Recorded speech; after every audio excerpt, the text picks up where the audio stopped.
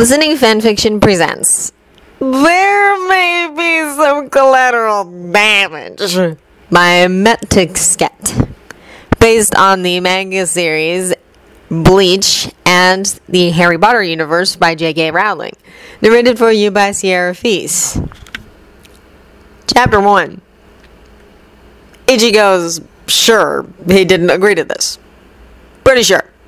Admittedly, there might have been a point in the meeting with the captains, somewhere between going undercover in the living world and killing an evil maniac, where he nodded off, and the captains are definitely mad enough people to take silence as agreement. But surely he would have woken up for this part.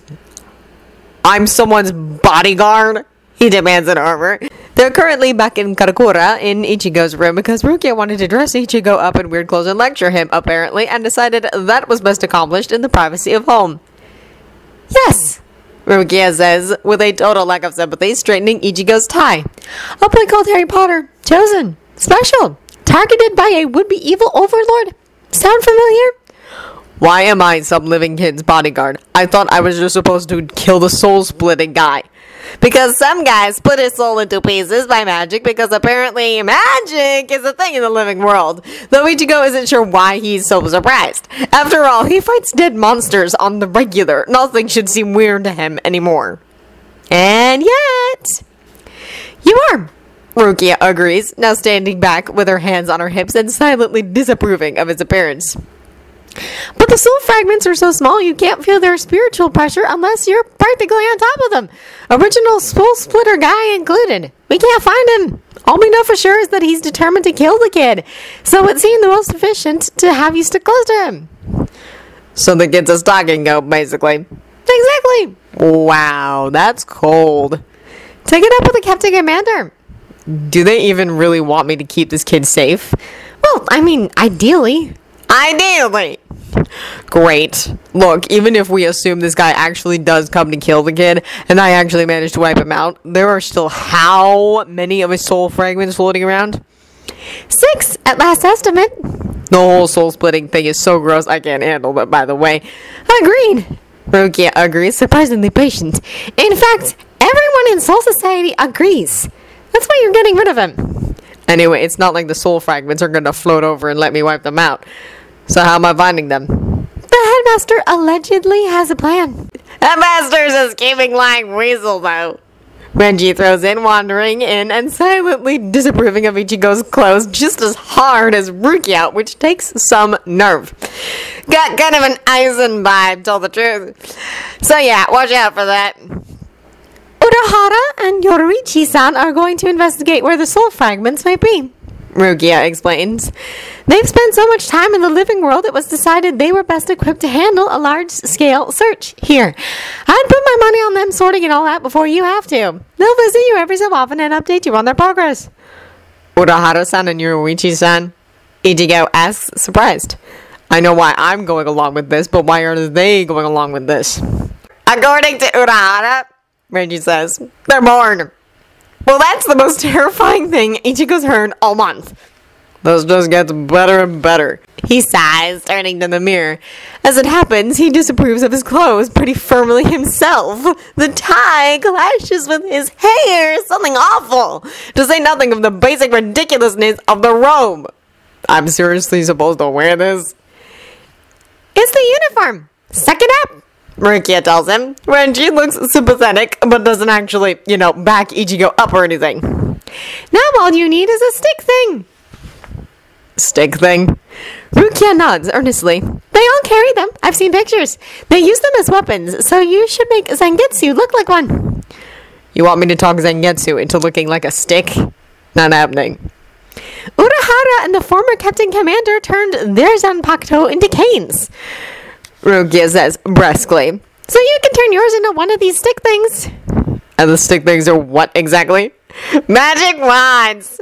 Renji explains with apparent glee. Whether over the idea of magic or the idea of Ichigo's pain, Ichigo isn't sure. You wave them around, see? And the magic happens. So it's glee over Ichigo's pain. Good to know! By the way, is anybody worried about the fact that I can't actually do magic?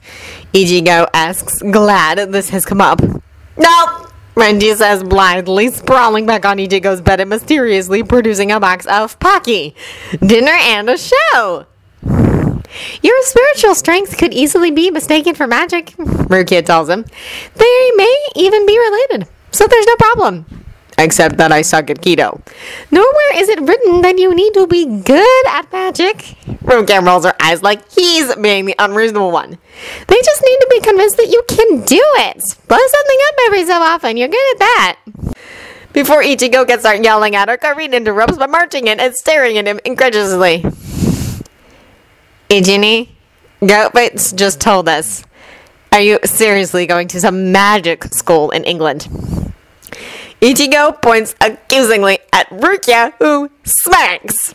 Scotland, in fact, she says. Karin looks from Ichigo to Rukia and back. And you're going there dressed like that. It's the uniform. Ichigo snaps, feeling unfairly beset on all sides. Uh, You'd better call us every single day.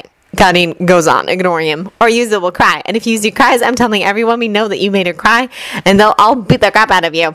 Remember that? I'll call every day. Ichigo promises, or at least every few days. I do get one of the Soul Society phones, right? The ones that get reception on bars. Rukia nods. One of ours or one of Urahara's? Yes. We'll want weekly reports.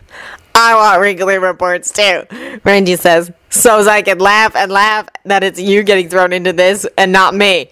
You even speak English? Yes.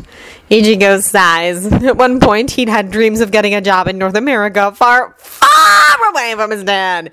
He'd studied English with a dedication bordering on fanaticism with that goal in mind. Didn't work out, though. Instead, he gets Shinigami, Wars, magic schools, and is somehow still living in his dad's house.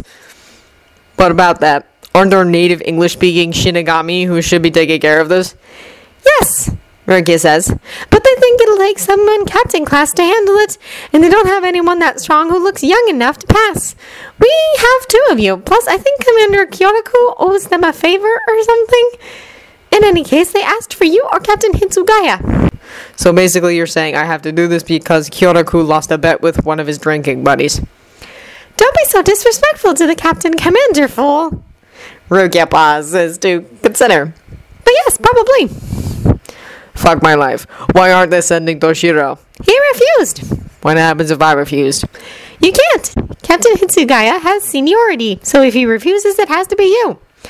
They seriously need someone captain class for this?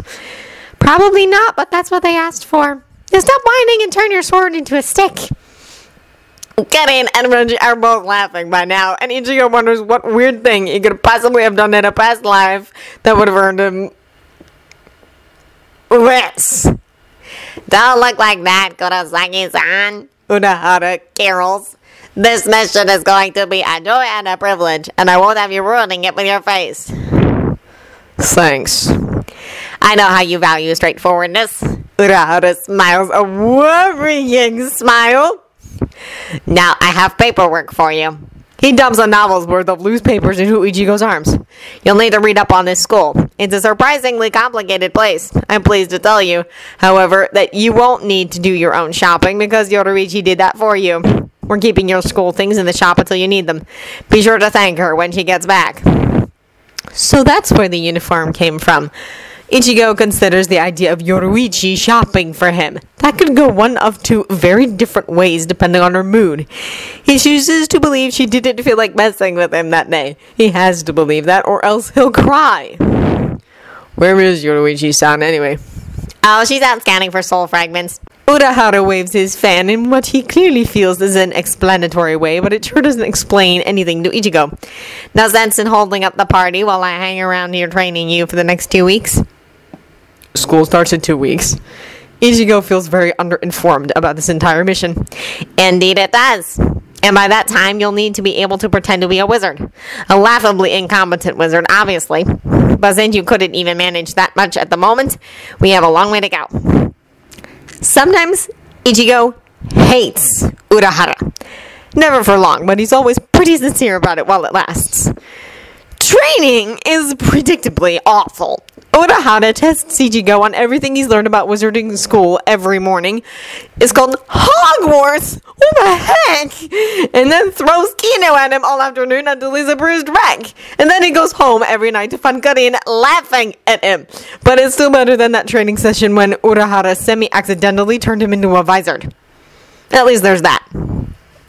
By the end of two weeks, Ichigo's so eager to get away from training that he's almost excited about school. He knows Urahara well enough by now to figure it was arranged that way on purpose.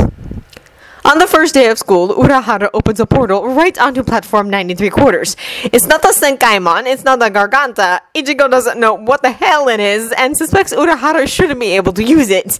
In view of that, the blase attitude everyone on the platform takes toward it is pretty weird. Or at least it is until Ichigo spots a few of them walking through a wall. And if you walk through walls, he figures you probably take most things in stride.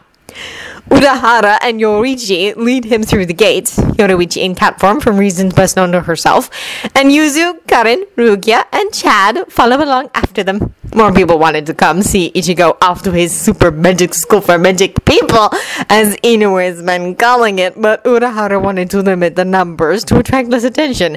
And then he opened a portal right onto the train platform. Ichigo doesn't even know. Yuzu and Karin got to come because they're family, and everyone else played rock, paper, scissors for it. Ichigo's not sure how, but he's pretty sure Rukia figured out some way to cheat. Chad's just lucky. And so, here they all are, making a small spectacle of themselves instead of the giant spectacle that could have been. In this crowd, they actually don't stand out much. Call every day, brother. Jealous of his time, vengeful toward anyone who threatens to take it from them, including Ichigo himself. Okay. He sighs. And you're reporting to us every week. Rukia adds her arms folded belligerently. I know. I'll be visiting your school over the winter holiday. Why? Think of it as a progress check. Captain Hitsugaya will come along to see if he needs to take over from you, and Renji will come along because he'll miss your face by then. You'd better have gotten something done by the time we visit Ichigo, or I'll be very upset.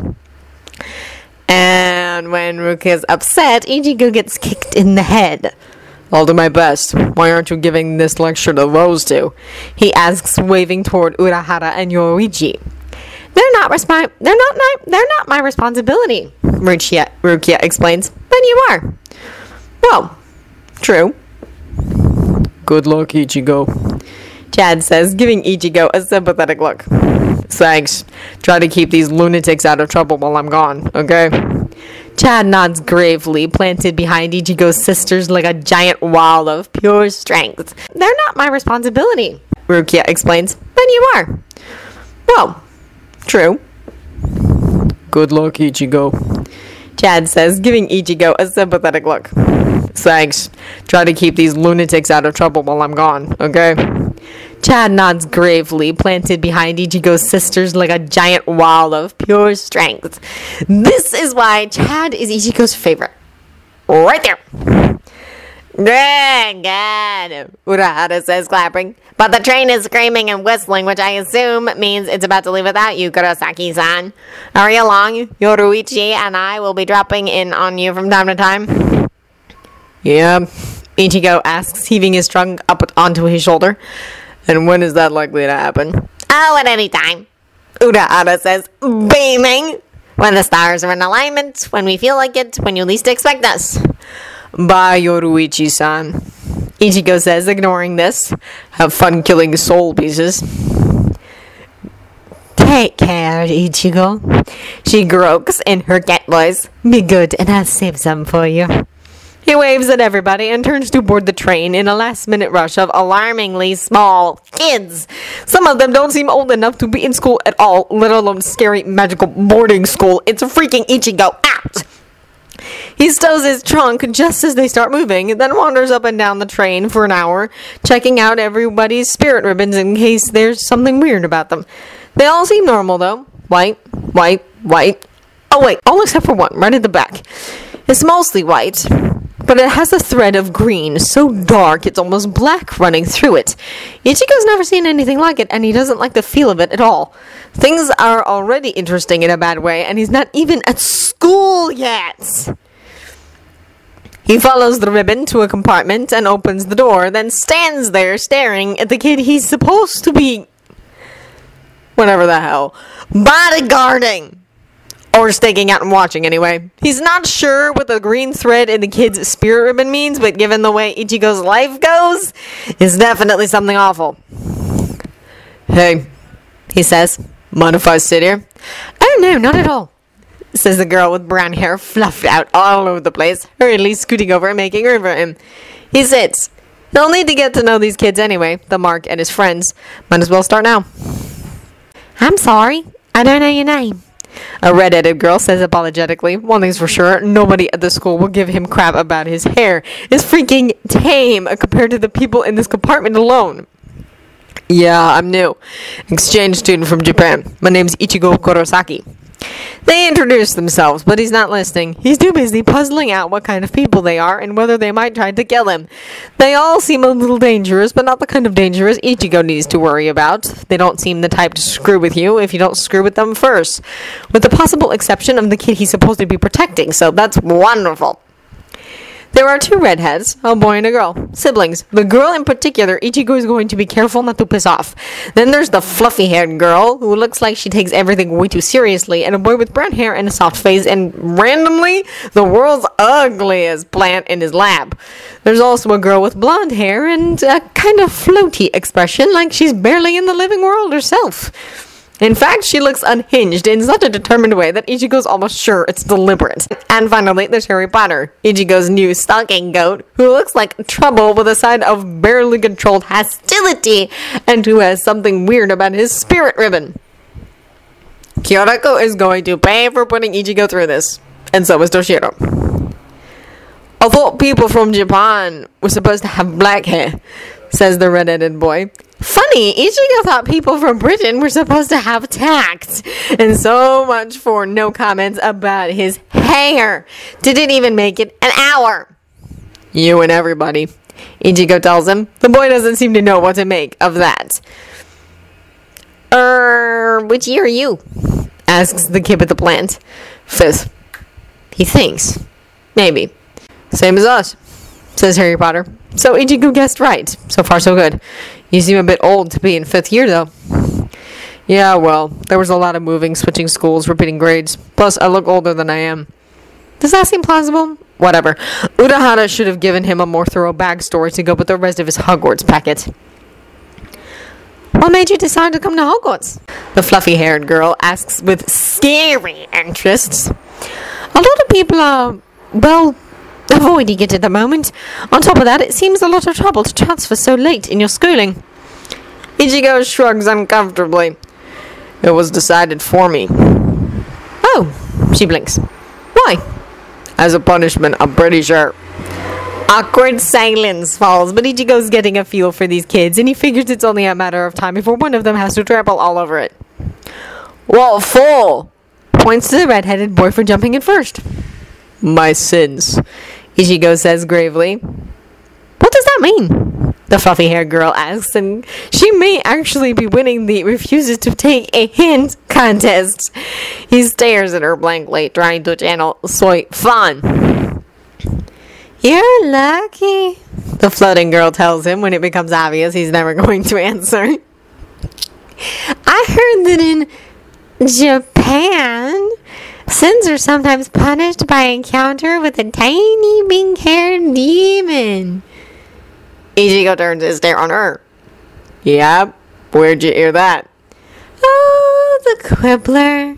The floaty girl says, pointing at the magazine Potter's holding. The whole compartment looks ready to laugh, except Fluffy Hair, who frowns and mutters something about horrible journalistic standards.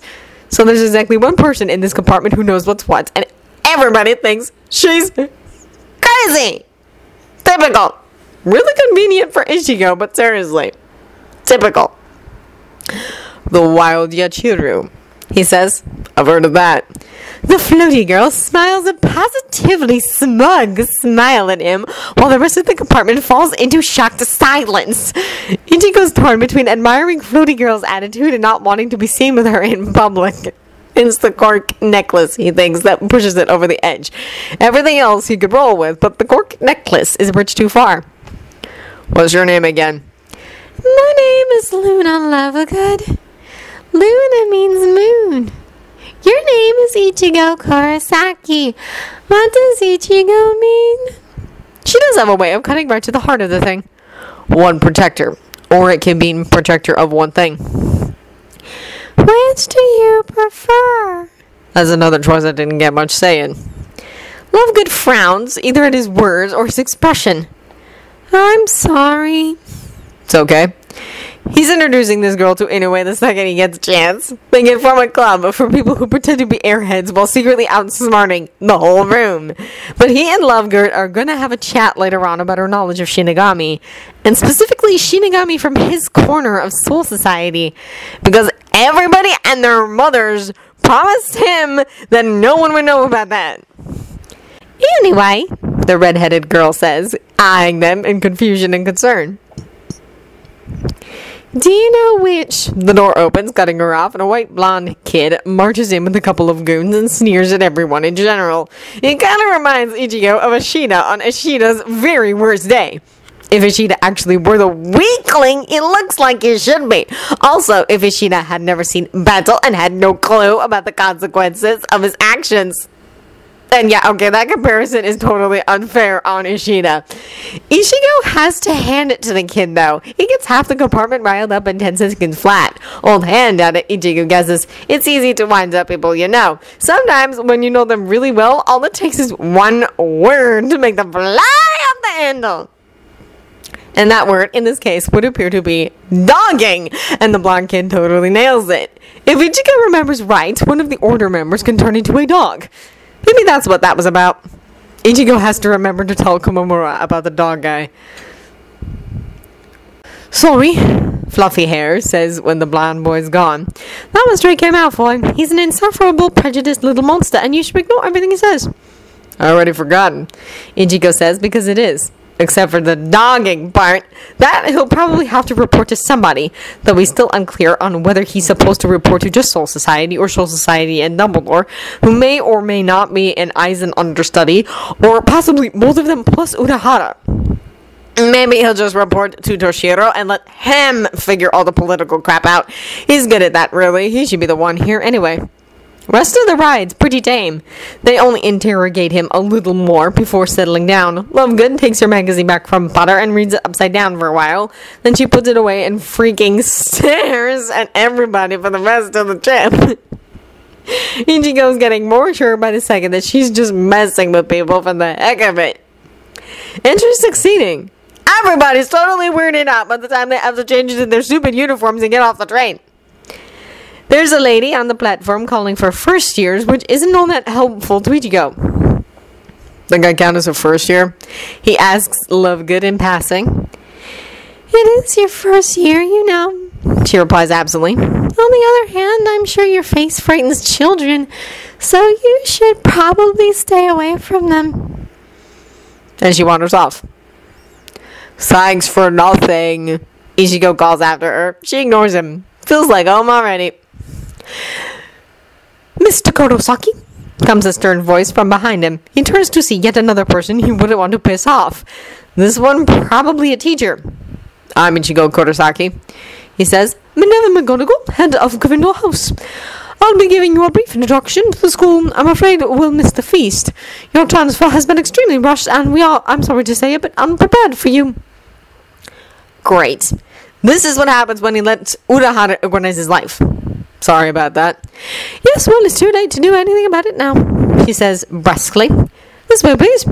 She leads into a carriage pulled by some winged horse creature that looks halfway between a corpse and a hollow. What the heck? And then up to the the freaking castle posing as a skull. She doesn't say a word to him until she's dragged him impatiently inside, up some stairs, down some other stairs, through a few hallways that don't connect in any logical way, and up a weird escalator slash staircase thing that was hiding behind a statue. At the end of all that, there's a room full of bizarre but interesting crap. There's also food, which is more interesting to Ichigo at this point. So, Mr. Kurosaki, McGonagall says, sitting and gesturing him into the chair opposite. I understand you're meant to protect Mr. Potter and save us all and kill our enemies for us into the bargain. Oh, so she knows about that. Okay. Well, it's probably easier this way. Mostly, I'm supposed to kill your soul splitting guy. He explains, everything else follows on from that, the way I hear it. Indeed. She looks exasperated, but Ichigo feels that it's not his fault. It's not like he volunteered for the job. Please feel free to have your dinner. We're waiting for the headmaster. He's giving a speech at the moment, but it shouldn't be long now. Ichigo eats, trying to ignore McGonagall's suspicious staring. He seems to it anyway. And the food's pretty good considering how awful everybody always claims British food is. Maybe a little heavy and bland, but totally edible. They tell me you're a Grim Reaper, McGonagall says eventually. I find that hard to believe. He doesn't know how to respond to that. Sorry. You mean to say that you actually are a Grim Reaper? Soul Reaper, I'm told, is the preferred designation, Minerva, says an old guy with a cheerful face who just appeared I need to behind Ichigo, which is straight up terrifying because the only other person Ichigo knows who could surprise him like that is Yoruichi, and he's an assassin. They do not end lives, but merely escort the dead to their appropriate resting places. Hello, Mr. Kurosaki. Assassin guy goes on. I'm Albus Dumbledore, headmaster here at Hogwarts. It's a pleasure to meet you at last. Mr. Urahara had nothing but praise for you. Ichigo doubts that very much. Huh. So this is the headmaster. Okay, that explains everything. Um, it's nice to meet you too, headmaster. He thinks about saying he's also heard a lot about Dumbledore, then figures it's safer not to go there. I've taken the liberty of placing you in Gryffindor House. It seems most convenient if you want to protect Harry, and it appears someone's bought you a uniform in the appropriate colors, so everything's settled. Unless you prefer to be officially sorted. Sorted? What does that mean? Oh, we'll place the sorting hat on your head, and it would sort through your memories and decide which house would best suit you. The process is completely confidential, of course. Yeah, that's not the issue. Ichigo pictures Zangetsu's probable reaction to some magic hat poking around in his head. Then he pictures Shiro's. He shudders. I'm good with Gryffindor, thanks. The last thing his brain needs is yet another personality inside it. In any case, Dumbledore says jovially, Professor McGonagall will be your head of house. She'll also assist you whenever possible with your mission. However, she may not be able to help as much as she'd like. Our defense against the Dark Arts teacher this year is administering Bone, McGonagall explains bitterly. The Ministry is trying to discredit anyone who so much as suggests he who must not be named has returned, and the headmaster is the loudest voice suggesting it. The mole's name is Dolores Umbridge, and she must not, under any circumstances, learn about your mission here. Wasn't planning on advertising it. Ichigo tells her, We're not supposed to interfere in the living world at all, normally. Only reason I'm here is that the soul splitting guy is technically dead, so he's one of ours. But the fewer living people who know about us, the better. They both nod grimly, McGonagall apparently starting to buy that he's a Shinigami. Then they give him a quick rundown of the school's rules, history, and structure. Most of it he'd already learned from Urahara's notes, but it's nice to have a refresher. Though it does confirm his initial suspicion that everything about the school's setup is, without exception, a hot mess. Once they're done with the overview, they give him a schedule, which is as light as they can make it without it looking suspicious. Then they give him Potter's schedule, presumably so he can bodyguard better. They're really efficient. He's surprised and impressed. I think that covers everything, Dumbledore says when they're finally done. Do you have any questions for us at present? Yeah, actually. Potter's got. Okay, so everybody has a spirit ribbon. They reflect, uh, the way people are, I guess. Humans have white ribbons, Soul Reapers have red ones. It goes on like that. Potter's ribbon is weird though. It's white, but it's got a nasty feeling dark green thread running through it. Do you know what that's about? Dumbledore and McGonagall exchange unhappy looks that suggest they know exactly what it's about, and yet somehow they never bothered to mention it before. We suspect, Dumbledore says, that Voldemort, the Soul Splitter as you call him, has a connection of sorts to Harry, and you've just added to that suspicion. So that's how you say the name. Voldemort. Huh. Yeah, Ichigo's never even gonna try to pronounce that. Minerva, if you could step outside for a moment, I'll send Mr. Kurosaki out to you presently. McGonagall leaves, though she's clearly not happy about it. Dumbledore waits until she's gone, then turns back to Ichigo. It's not impossible. He says, that Voldemort unintentionally split his soul one final time when he killed the Potters, and that that soul fragment attached itself to. well, to the nearest object at hand. Which was Harry Potter. Ichigo says, wanting to be really clear on this point. Dumbledore nods, sadly. Okay, this is a thing I might have wanted to know right at the beginning of this conversation, or better yet, before I agreed to come here, because I did not sign up to kill a kid. I will do it. Then perhaps as a soul reaper, you can find another way. Dumbledore says. Merlin knows I've had no success, and I've been trying, Mr. Kurosaki. I swear to you, I've been trying. He looks older than Yamamoto all of a sudden, and a million times more tired. Ichigo may not like him all that much, but he can't help but feel bad for the guy. I'll figure something out. Ichigo says firmly. Dumbledore smiles a lying smile at him. I hope so. In the meantime, I'll have Professor McGonagall keep you up to date on the password to my office. Feel free to come here at any time with any questions or concerns. I will. Ichigo tells him while silently resolving never to set foot in here again if he can find a way around it. Thanks. Professor McGonagall will escort you to your covered room. Have a pleasant evening. Yeah, because it's been awesome so far. You too. Ichigo makes it to his dorm room. Dorm room! How the heck did he let them talk him into this? Just in time for a screaming match about whether or not the Soul Splitter guy really is up and running around. Good times. And Ichigo managed to walk right into the middle of it, so now everyone's staring at him. Hey, he says, Ichigo Kurosaki, nice to meet you. Don't mind me, just keep on screaming or whatever. I'll be over here. He heads for the one occupied bed. No, wait. What do you think about all this? Potter demands belligerently. Ichigo's pretty sure stalking goats aren't supposed to be belligerent. Define all this. Ichigo sighs. Do you believe Voldemort's back? Ichigo shifts his weight so he's balanced and stable. This is looking like it might descend into a brawl and he wants to be ready. You mean the soul splitter guy? He asks to buy time. The climate of the room takes an abrupt turn from hostile to baffled. Soul splitter, the red-headed boy from the train asks. Yeah, you know, he wants to live forever, so he split his soul into pieces, makes him hard to completely kill off, like... He tries to think of a good English language analogy. Whack-a-mole. Yeah, he's proud of that one, or he would be, except that now everybody's staring at him in stunned silence. What? I've never heard of that. Potter says, eyeing Ichigo. Ron? Me neither, says the redhead, Ron apparently. Ichigo should really make an effort to remember the names of the people he's sharing a room with at least. I didn't even think he could do that, his soul. Neville? No, said the soft-faced boy. Neville. Anybody? Nope, chorused the other two, whose names apparently even Potter doesn't remember.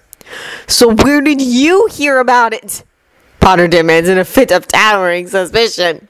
Looks like Ichigo successfully shifted everyone's negative attention off of Potter and onto himself. Is that good? It seems like a bodyguard kind of thing to do. He'd feel better about it if it hadn't been completely accidental, though. It was in the introductory packet I got before I came here. Nobody believes him, which is disappointing because it's actually true. How could your school in Japan have figured out something about a British wizard that the British Ministry of Magic hasn't figured out yet? Ron asks, just as suspicious as Potter. But makes no sense. You know who's never even been to Japan? Maybe they've seen something like this before. Ichigo suggests, though he knows they haven't. Maybe it's only a theory. How should I know? I just read the packet. He honestly doesn't know how the heck they found out about the soul splitting thing. He assumes it was a Western European Soul Society investigation, and he's grateful he had nothing to do with it. So you do think he's back? Accuses the still nameless boy who was yelling at Potter when Ichigo came in. I think he was never really gone. Then you're not too, the boy says firmly. Okay, nice to meet you too, whoever you are. I'm Seamus Finnegan, he says, and you're old man. You could be right. Ichigo allows, shrugging. But if you're wrong, the future's going to be full of ugly surprises for you. Never hurts to prepare for the worst. Finnegan glares at him, then whirls around and flounces into bed. Neville quietly declares that he and his grandmother believe Potter. Everybody else just silently goes to bed, not looking at each other. Well, Potter does cast Ichigo a few looks that are a mix of grateful and mistrustful. It's all incredibly awkward. Ichigo unpacks as much of his stuff as he can in the dark, then gets into bed and waits for everyone else to fall asleep. He's got a report to give and a rant to deliver, and if he's quick about it, he can wake Toshiro up at an obnoxiously early hour. Harry isn't all surprised to hear Ichigo sneaking out of the dorms in the middle of the night. He'd stayed awake waiting for it, in fact. He stays put until the Marauder's map shows Ichigo leaving the common room, then grabs the invisibility cloak, wakes up Ron, and drags him downstairs. Ron's not happy about it, but he'll survive. Harry enchants a paper airplane note to fly up the girls' stairs and wake Hermione, which gives Ron time to pull himself together. Where's he going then? Ron asks, sunny on, not exactly giving the impression of great interest. The astronomy tower. Harry tells him, holding out the map. Or I'm guessing that's him in that it's the only name in a language I can't read. Huh. Maybe the map shows your name the way you'd normally write it yourself. Looks like. At this point, Hermione storms down to the common room, tired and furious. What in the world? She hisses quietly. It's the middle of the night. What do you mean we have to see what he's up to? Who is he? The transfer. Ichigo. Ron explains. Turns out he's in Gryffindor after all. And he walked in our room tonight and right away said that you know who split his soul into pieces and hid them all over. He said it like he thought everybody already knew. And now he's gone and snuck out of the dorm, so Harry's convinced he's a Death Eater. I. Harry stops. He supposes that does more or less sum it up. It seems like a good idea to check anyway. Hermione sighs and puts her face in her hands briefly, like she always does when she thinks Harry and Ron are being especially ridiculous. Why does he know? She mumbles, resigned. I was drawn to meet that Ron tells it. And you have your cloak, Harry? Right here. Well then. She drops her hands and straightens up. I suppose we may as well get it over with. She's come so far since first year. From the look of the map, it seems Ichigo's happy to stay in the astronomy tower now that he's gotten there, so that makes things simpler. I can't believe we're sneaking around the school in the dead of the night again! Hermione complains in a whisper as they start up the astronomy tower. Well, yes, I can. Of course I can. But I can't believe we're doing it already! We have a problem too, Ron mutters. If he's up there meeting people, they'll all be talking Japanese, won't they? Not if they're Death Eaters, Harry argues. What if they're Japanese Death Eaters? There are no Japanese Death Eaters, Ron. Hermione says impatiently. How do you know that then? And I know a translating spell just in case. She carries on as if she wasn't interrupted just as they reach the entrance to the observation platform, which is where Ichigo is pacing up and down. And still alone so far. Really? Harry asks. He hadn't known there were translating spells, but of course Hermione would. I learned it in case I ever met any of Victor's friends who couldn't speak English. Hermione explains quickly, ignoring Ron's sour expression. It's tricky to learn, but surprisingly easy to adapt for different languages once you've learned it. I checked on how to adapt it to Japanese as soon as we met Ichigo. As you do, Ron says, sending Fod despite himself. It only lasts for half an hour, but that should be plenty of time to get the idea if someone does come down to meet him. Hermione concludes. Come on then, he's as far from the door as he can be. We should go now. They quickly slip through the door, closing it softly behind them. And there's Ichigo still pacing, still alone. But he's ranting, in Japanese, into a mobile phone, which is... It's impossible, isn't it? Hermione clearly thinks it's impossible. She looks shocked. Ron has no idea what a mobile is, so he just looks confused. Obviously, they can't understand a word, but Ichigo sounds seriously annoyed. It's a lot more emotion than they've heard in his voice until now. Harry nods at Hermione, and she casts the translating spell on him. You figure out who I'm supposed to be reporting to. Ichigo snaps impatiently as the spell takes effect. This Dumbledore guy is yeah, a little of that. Renji had a point, but I don't think he's actually that far gone. No, he's one of these old guys who's seen a lot of things, and so he thinks he knows everything about everything. You know the type. Manipulative, too. Weird cross between Urahara-san and Yamamoto, basically. Yes, it's unholy, and that's why I'm asking, do I actually have to report to this guy? Besides, it won't be subtle if I'm running up to the headmaster's office all the time. Yeah, there are people watching. Seriously, This is a school with spies in it. Reports. Hermione mouths silently, looking worried. Harry and Ron shrug. Harry's not understanding most of this conversation, but if Ichigo's wondering if he should report to Dumbledore, he can't be all bad, can he? Even if it doesn't sound like he especially likes Dumbledore. The stocking goat kid, as far as I can tell, they're keeping him in the dark and feeding him bullshit, so. Right? Picture what I'd be like under those circumstances. Except less violent. Okay, a lot less violent. I do not have rage issues. I just do what needs to be done. Harry scowls. He doesn't like the sound of stocking goat one bit. Ichigo, I better not be talking about him. You'll get to hear about it because you should be the one here and we both know it. For one thing, you can actually do kido. For another thing, I just finished high school. Do you know how much I wanted to turn right around and do it again? This blows. Oh, don't even. Wearing a gigai for a few months is not as bad as repeating high school. Apparently, the spell didn't know the translation for Kido or gigai.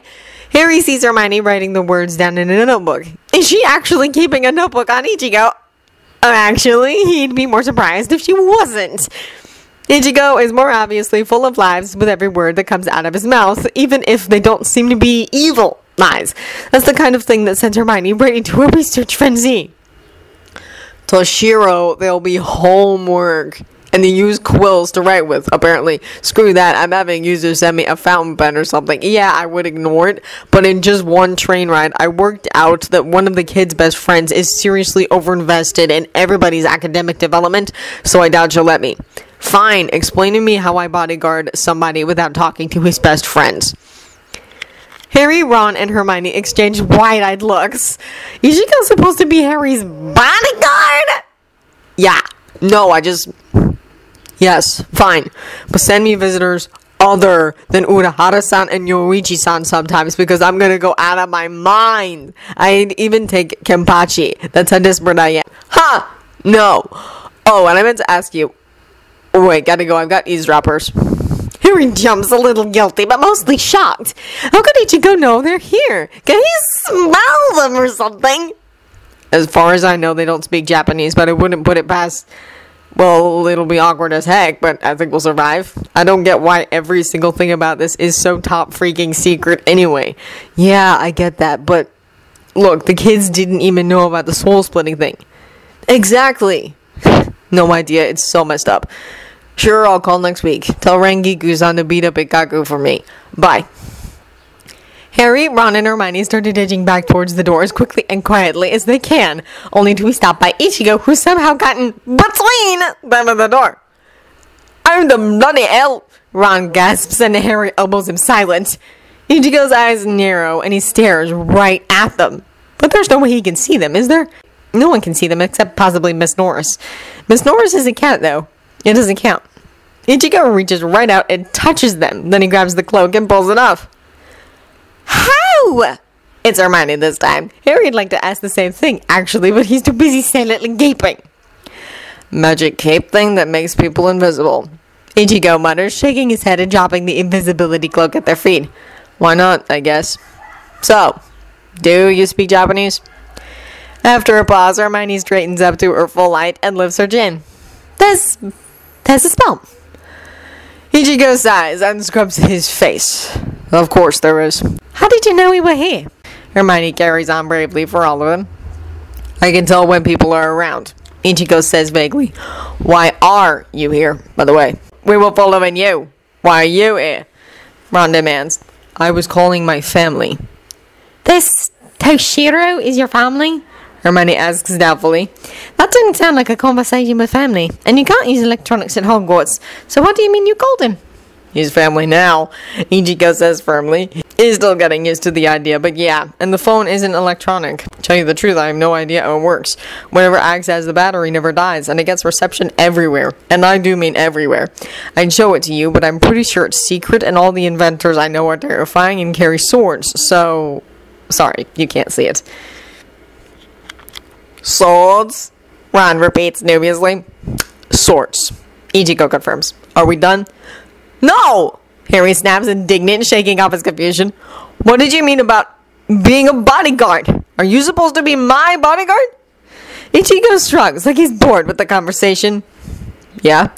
I don't need a bodyguard! Don't look at me, wasn't my idea. But why would Hermione frowns up at Ichigo? This makes no sense. Why would they send someone from Japan to be Harry's bodyguard? And someone so young? Why not an Auror? What they told me was that they needed somebody the right age to blend in, and I'm the only one near that age who has enough experience in bodyguarding. Besides, nobody here recognizes me, which is a plus. And I hear my boss has local connections. So, here we are. You said that Toshiro bloke should be here instead of you, though. Ron points out, intrigued. Earlier when you were talking. He had the right of first refusal, apparently. Ichigo scowls resentfully. You said that's what they told you, Hermione puts in. It doesn't seem like you believe them. Yeah, Ichigo scratches the back of his head, suddenly awkward. Truth is, I'm like 80% sure I'm here because somebody lost a bet. I just can't tell if it was my side or your side. What does that mean? Ron demands. Just, well, I get things done, but I get them done my own way. And sometimes it's not a way that the people who gave the orders had in mind. Assuming I follow orders at all. Well, that's ominous. And how do you feel about your orders to keep me alive? Harry asks uneasily. Oh, I'm keeping you alive. Ichigo says with determination, which is a relief. But if people start telling me how I should do it, I'm not going to take that well. There's a pause while everyone digests that. Not exactly popular back home, are you? Ron murmurs eventually. Ichigo seems pleased with himself. Depends who you ask. Only I really don't need a bodyguard, Harry says again. You sure? Ichigo asks. Way I hear it, you almost get yourself killed at least once a year. To say nothing of last year when you tried to get killed like five times. Full times, says Ron cheerfully. Be fair. He's actually enjoying this, the traitor. And I survived every time, Harry insists, even though Ichigo's estimate of his near death experiences is fairly accurate. Whatever. It's not like they'll let me go home just because you don't like the idea. Ichigo says, rolling his eyes. And if I'm here, I might as well be doing something with my day. What can it hurt? He makes a fair point, Hermione points out. Always assuming he's telling the truth. As Dumbledore, Ichigo suggests. Some of this is definitely his fault. Harry scowls at the idea of asking Dumbledore anything. Surely Ichigo wouldn't offer that option if he didn't mean it, though. Would he? Does he know Dumbledore's avoiding Harry? Or you could ask McGonagall. Ichigo says, eyes narrowed, studying Harry's face. If that's more your speed. She knows about me too. I'll do that, Harry says reluctantly, because he doesn't need a bodyguard. But if he has to have one, he suppose he could do worse than Ichigo, who generally minds his own business and has never once called Harry a liar. Not so far in their admittedly short acquaintance, anyway. In any case, Ichigo seems enough like the Weasley twins that it probably isn't a good idea to allow him to get bored. That said, Harry's never had a long-term bodyguard. He's not sure what to do with one on a day-to-day basis. So are we supposed to be friends with you now, or what? Ichigo looks surprised. Not unless you're feeling friendly, just ignore me. I mean, tell me if you're doing something dangerous so I can be there. But otherwise, don't worry about it. I'll be around, but pretend I'm furniture or something. Harry's so uncomfortable with that idea he doesn't even know where to begin. What would you do if we broke school rules? Would you tell uh, whoever you're reporting to? No.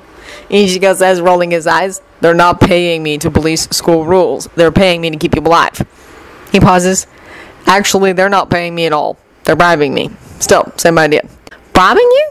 Hermione asks, interested. With what? My family's safety. Ichigo tells her shortly. Everyone goes quiet.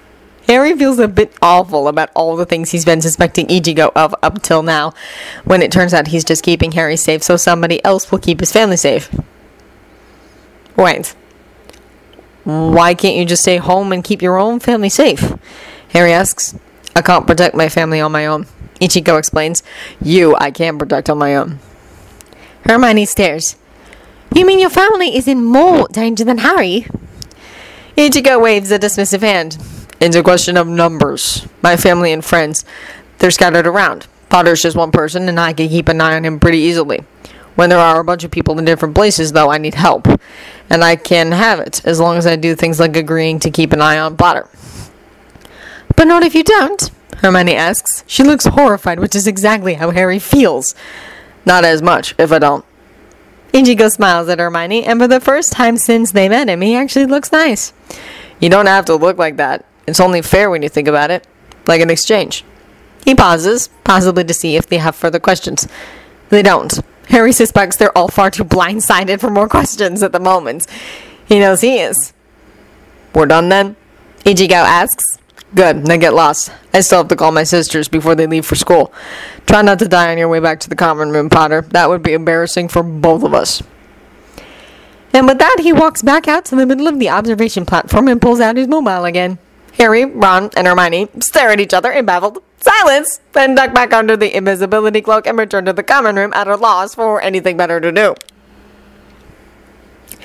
Ichigo's first morning at Hogwarts continues socially uncomfortable with the Finnegan kid making snide remarks and then bravely running away, Potter taking it out on everyone, and Granger yelling at Potter for taking it out on everyone. Ichigo tries to make himself as invisible as possible, but he's a tall guy with orange hair, so there's only so much he can do.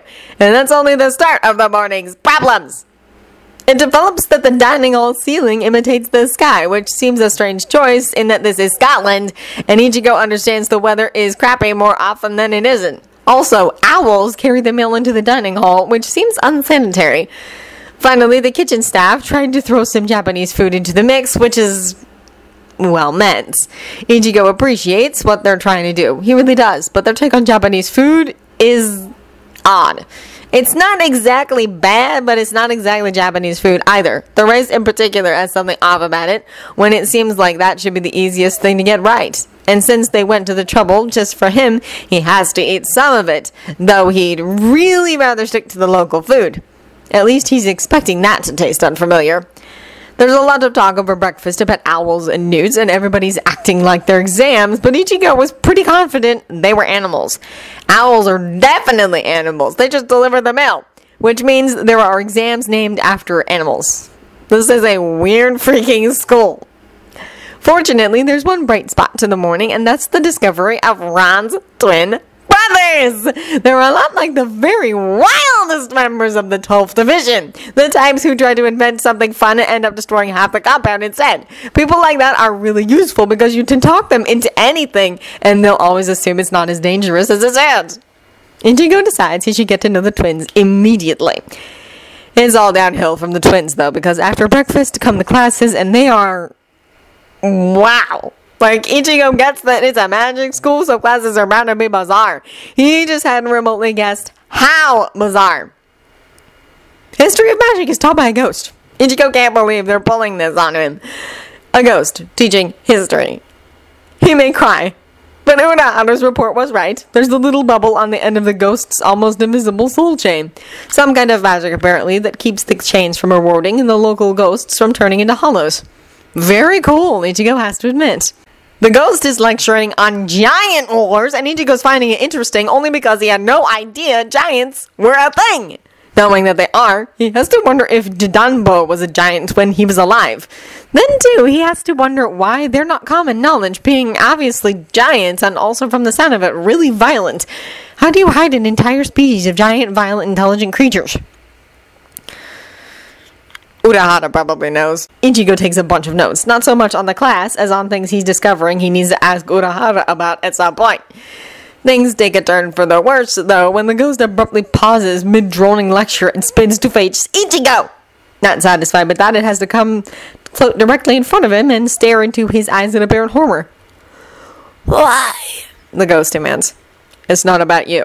Ichigo tells him. It's not about any of you here. You don't need to worry. Ah, good. The ghost, satisfied and therefore losing interest, floats off and resumes the lecture. The living section of the classroom, meanwhile, dissolves into a hissing mess of whispers. Whoever thought Ichigo could handle any kind of undercover anything was clearly a moron. After History of Magic is potions, and Snape gets to join the ranks of all the teachers who don't like Ichigo's looks. On the plus side, Snape doesn't seem to like anybody's looks, so at least Ichigo doesn't feel singled out. Nice change there. In fact, if anyone gets special hatred, it's Potter. That Morgan. He's Soul Society's stalking goat, but he's his own government's scapegoat, and apparently he's Snape's scapegoat too. Just all around treated more like a goat than a human. Ichigo wouldn't trade lives with a sorry guy for anything.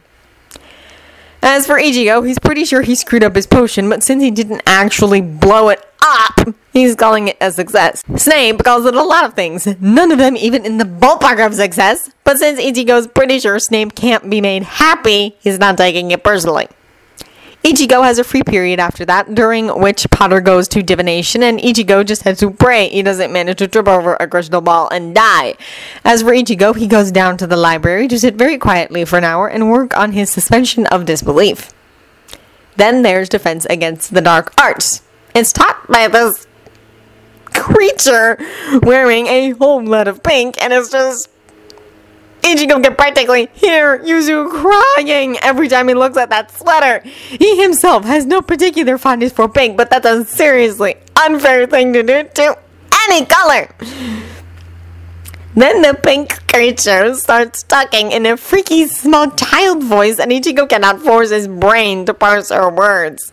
Not that he thinks she's particularly worth listening to, but she's the ministry's mole, so he should probably try to pay attention. They can't though. They really can't. He just stares in fascinated horror until she stops talking and everybody opens their books. He opens his book too, since apparently that's what they're doing. The book quickly proves to be mind numbingly boring. So he starts writing up his first report instead. It includes a lot of phrases like, why would you? And wouldn't it be faster to just blow up the school? And undo cruelty to substitute Shinigami. The teacher sidles up beside him and stares at his report. Great! The whole point of the exercise was to encourage her not to take an interest in him. Why don't you take notes in English, dear? She goes. Ichigo frowns up at her. My English bad. This way more fast. Everyone in class who's heard him speak English before turns to stare at him. Most of them look like they're about to start out laughing, so that's good. Or bad if they actually do start laughing. That would blow his cover. Granger is also staring at him in incredulous delight, but she, at least, has her hand clapped over her mouth. It's good that someone understands the game. Oh, The teacher blinks. well, I'm surprised people from your country would allow you to attend school here without being able to speak a proper, to properly speak the language. You must practice your English, dear. Practice. Do you understand? Wow, this lady is an all around class act. But Ichigo just nods gamely and she goes away before anybody does anything more than snort quietly. When Neville Longbottom passes him a note that reads, I want to be you when I grow up. Ichigo smiles and shoves the note in his pocket to show Renji. This, my friend, is how undercover is done. Then the whole class abruptly gets into a screaming fight with the teacher, and a riot almost breaks out, so that's pretty entertaining. Like, Shiro's downright cheered by it, and Ichigo's kind of impressed with the teacher's cast iron balls. Because that's what it takes to tell a bunch of kids who had a classmate murdered the year before that they live in a world of safety and sunshine. Like, damn! anyway, Potter ultimately gets kicked out. Kid really is everybody's scapegoat. And then, apparently, in the spirit of the thing, Ichigo gets kicked out too. The teacher wants him to escort Potter to their head of house and also get a translating charm for himself. Makes sense. Ah, How's she supposed to spy on him if she can't read what he's writing? By the time Ichigo makes it out the door, Potter's already running down the hall and yelling at a poltergeist. It's a pretty sorry day when Ichigo thinks someone should learn to pick his battles. He trails after them though because he's got no idea where McGonagall's office is. Also because they're funny to watch. McGonagall must not agree, though, given the way she flings open her door and demands to know what the noise is, which is exactly the moment Peeves notices Ichigo, freezes in panic, and then dives into the ceiling screaming about murderers and death dealers. McGonagall and Potter both turn to stare at Ichigo. Ghosts don't like me. He lies blandly. Yes, McGonagall says faintly. So I don't understood. Well, come inside, the two of you, and explain to me why you're here when you should be in class. I've been sent to see you, Potter grumbles, holding out a note of offensive pinkness. McGonagall takes the note, frowning, and reads it. By the time she's finished, she looks about as happy as Potter. She sighs in exasperation and sets it aside. And you, Mr. Kurosaki? She demands. What are you doing here? The teacher thinks I can't speak English. Ichigo explains, and despite everything, Potter smirks. She wants me to get a translating charm or something. McGonagall blinks slowly. You seem to me to be quite proficient in English, Mr. Kurosaki. Ichigo shrugs and Potter looks down and bites his lips against the grain. And I suppose you have no idea how this confusion came about. McGonagall continues, taking off her glasses and pinching the bridge of her nose. No idea. Ichigo says firmly, and then pretty sure of his footing here, but I wouldn't mind if she stayed confused. McGonagall gives him a small smile, and Potter laughs outright. Well, after all, if I give you a translation, chum, how would you ever learn? Good point. Ichigo allows impressed. McGonagall sighs and replaces her glasses. Mr. Kurosaki, if you get yourself expelled, that will be of no help to anyone, and I will be extremely annoyed. Understood. Please go back to class now before you convince me to do anything else ill advised. Mr. Potter, you stay. Ichigo leaves. He feels pretty good about today. So far, it's only mostly been a disaster. Fred and George are, if not connoisseurs of human nature, at least extremely astute when it comes to deducing what they can get away with in which company. And that's why they're so interested in the new boy. They have a feeling, and they are very rarely wrong, that Ichigo would let them get away with more than anyone they've ever met. Always excepting Lee, of course, who's an honorary Weasley in any case. They'd swap him out with Percy any day of the week. They'd even swap him out with Ronniekins. The unsettling thing, though, about Ichigo Kurosaki is that he watches them with, oh, calculation. They're used to, say, amusement, fear, and exasperation being aimed their way. Calculation is a new one, and they're not sure what to make of it. And when you're not sure of a thing, the logical response is to test it until you are. Say, Ichigo, Fred begins, settling up to him at dinner. We have a business proposal for you. Ichigo frowns at them. Of course, Ichigo is in a constant state of frown. It doesn't have to mean anything. Business proposal? That's right, says George. You see, we've invented a few joke candies and we need to give them a trial run before they're ready for marketing. We need test subjects. No real danger, you understand? Certainly not, Fred agrees. We would never. And in any case, you'd be handsomely compensated double if you end up in the hospital wing. And best of all, it would get you out of this dining hall sooner rather than later. As one, they turn to look at Harry, who is dealing with the stress of having his sanity publicly questioned with all the grace and subtlety of a rampaging hippogriff. Ichigo pushes back his plate. I oh, won't be your test subject, he said, but I am curious about what your candies do. Let's go. Fred and George exchange a look, so he's curious about their products. Which is curious. Is he a prankster himself? Is he a sadist? Is he most alarming of all competition? They'll just have to keep poking at him until they find out. He's not a competition. They figure that out immediately because he's not interested in the process of making fainting fancies. He's just interested in their effects. But he's not a sadist either because he looks alarmed when the firsties fainted and manages somehow to catch three of them before they hit the ground. Then again, he's not a prankster because he's interested in the results in entirely the wrong way. He doesn't look like he's having fun, he just looks calculating. Still, calculating. He's a true mystery, is Ichigo. They test him more, only Hermione has to ruin everything by stomping over just that and threatening them with mum, which is utterly uncalled for. And Ichigo wanders off to do homework. What is Hermione like anyway? She's not family. Not yet, at any rate. Ron wouldn't really, though. Would he? Not even Ron. Not a rulebook thumper. Except that, yes, yes, he would. That's the tragedy of it. Oh well, if they can't continue their experiments now, they'll continue it later. One way or another, they will figure out Ichigo Kurosaki. Ichigo doesn't go into day two with a lot of hope, and it turns out that's wise. Breakfast sees Potter and Granger and Ron all fighting about elves and then sulking. Because elves are a thing too. What the heck? First class is charms, and Flitwick talks a lot about the animal tests and then tells them to go over summoning charms, which apparently everybody else already knows how to do. Ichigo tries to do one and blows up his desk. Rukia, at least, would be proud. Transfiguration is next, and Ichigo's simultaneously pleased and worried to see McGonagall teaching it. He likes her, but he also, oh, fears and respects her. She's got kind of an Unohana vibe, and since there's basically no chance of his being able to transfigure anything, he doesn't see this ending well for him. McGonagall also talks about the animal tests for a while, and Ichigo tunes out, at least until she hands him a snail and tells him to make it disappear. He checks to see if she's messing with him, but she looks really serious. Plus, she's given everyone else the same instruction, and she doesn't seem the type to troll her class. Ichigo raises his hand, and McGonagall scowls at him, so they're off to a great start. Yes, Mr. Kurosaki? Could I try this on something that's, uh, not alive? The scowl deepens. Why?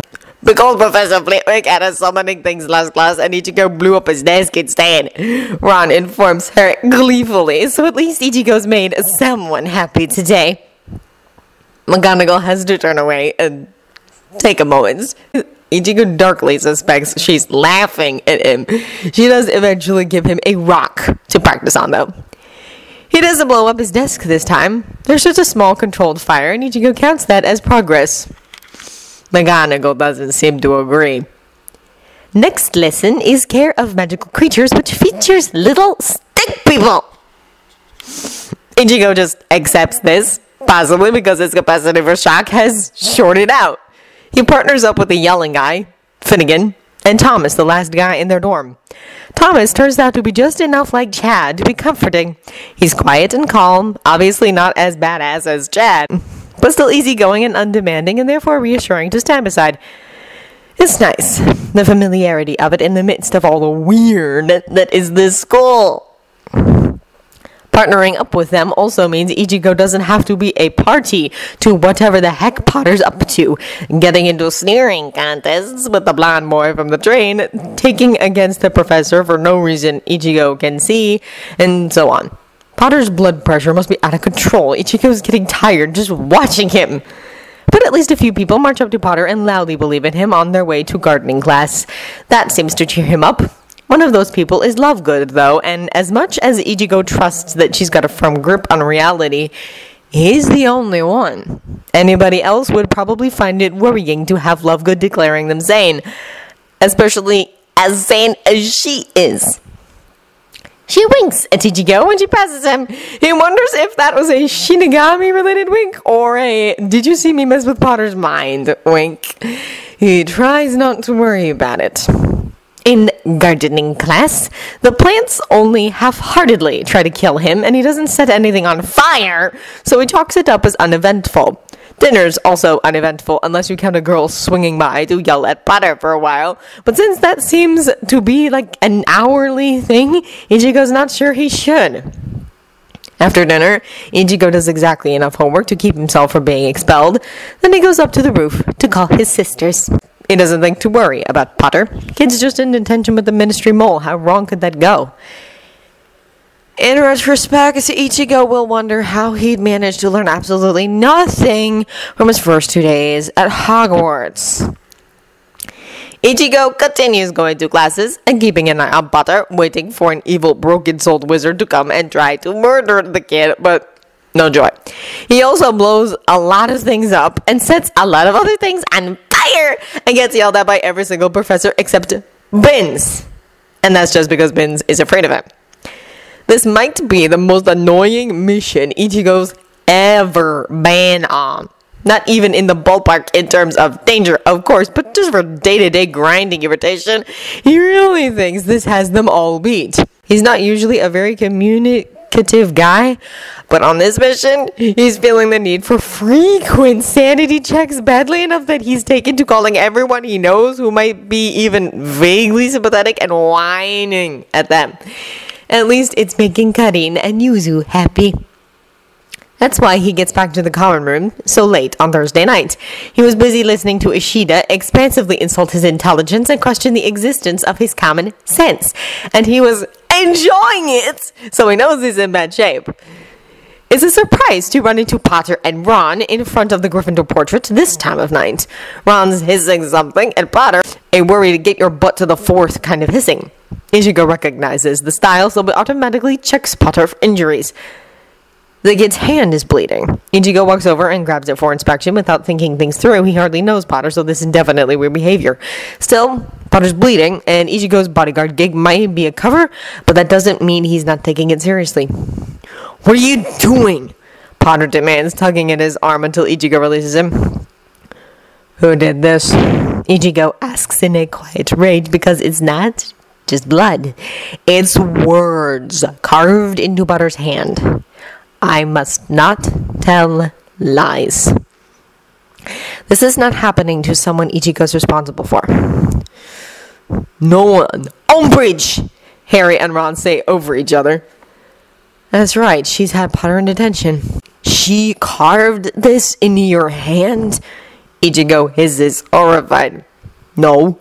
Harry insists, trying to hide the evidence. Classic. Right. Ichigo turns to give the portrait the password and drags the other two inside. How's she doing it? Is she sitting there taking a knife to you or what? No, Harry says indignantly, like that's just silly when he is clearly still bleeding from the hand. It's just, it's a quill. It doesn't have any ink. It's, when I put the words on paper, it writes them with my blood.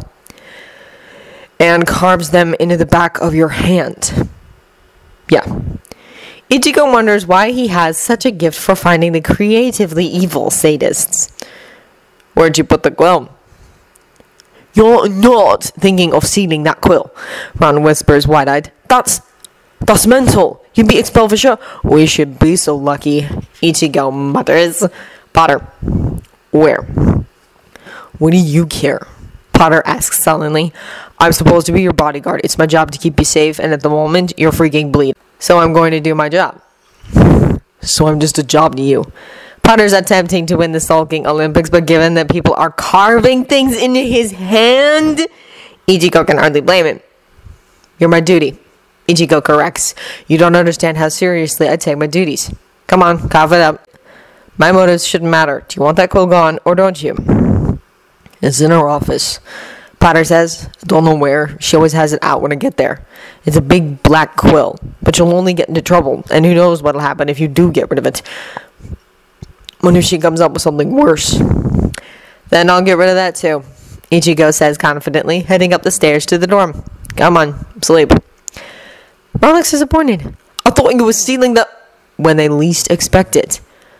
I really doubt she's expecting it now. Ron. Harry cuts in, exhausted. Let it go. He seems to think Ichigo's all talk and not actually planning to go through with it. Ichigo is not all talk. Ichigo, in fact, is something of a king of understatement.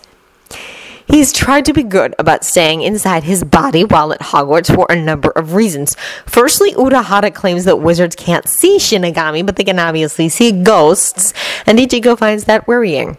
Secondly, it really alarms the Hogwarts ghosts when he runs around in Shinigami form and he's trying not to upset them. He doesn't have anything against them. They don't deserve to be scared.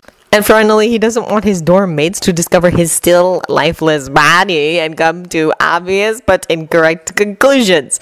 Mainly because they would never shut up about it. This time, it's important that he not get caught by Umbridge, so he ditches his body, heads for Umbridge's office, and fervently hopes wizards really can't see Shinigami.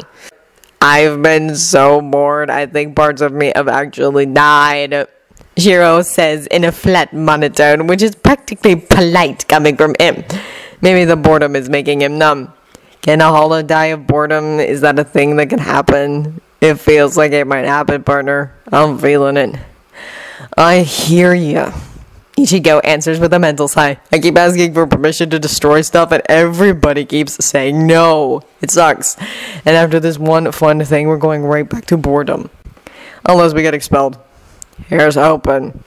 Shiro says, and he and Zangetsu turn obligingly into blades, though Zangetsu has nothing to say. He may actually be unconscious from boredom, and who can blame him? The office door goes down easy as cardboard, and if there are any alarms on it, they're silent ones. Nope. Shiro sighs, sadly. Still bored. They try to take out their aggressions on the quill, but even that's only minimally satisfying. So they end up trashing most of the room as well, which is, to be fair, a crime against taste, surpassing even Kukaku's wildest flights of architectural fancy. And it's full of dangerous magical objects besides.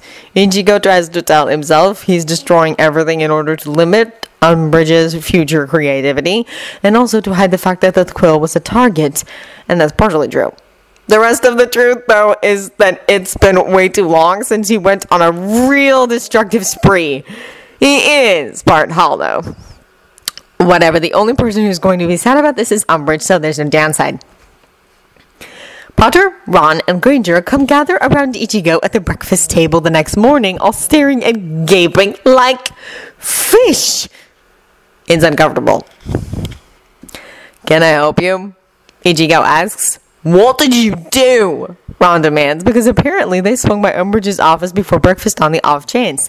Their curiosity really is going to kill them.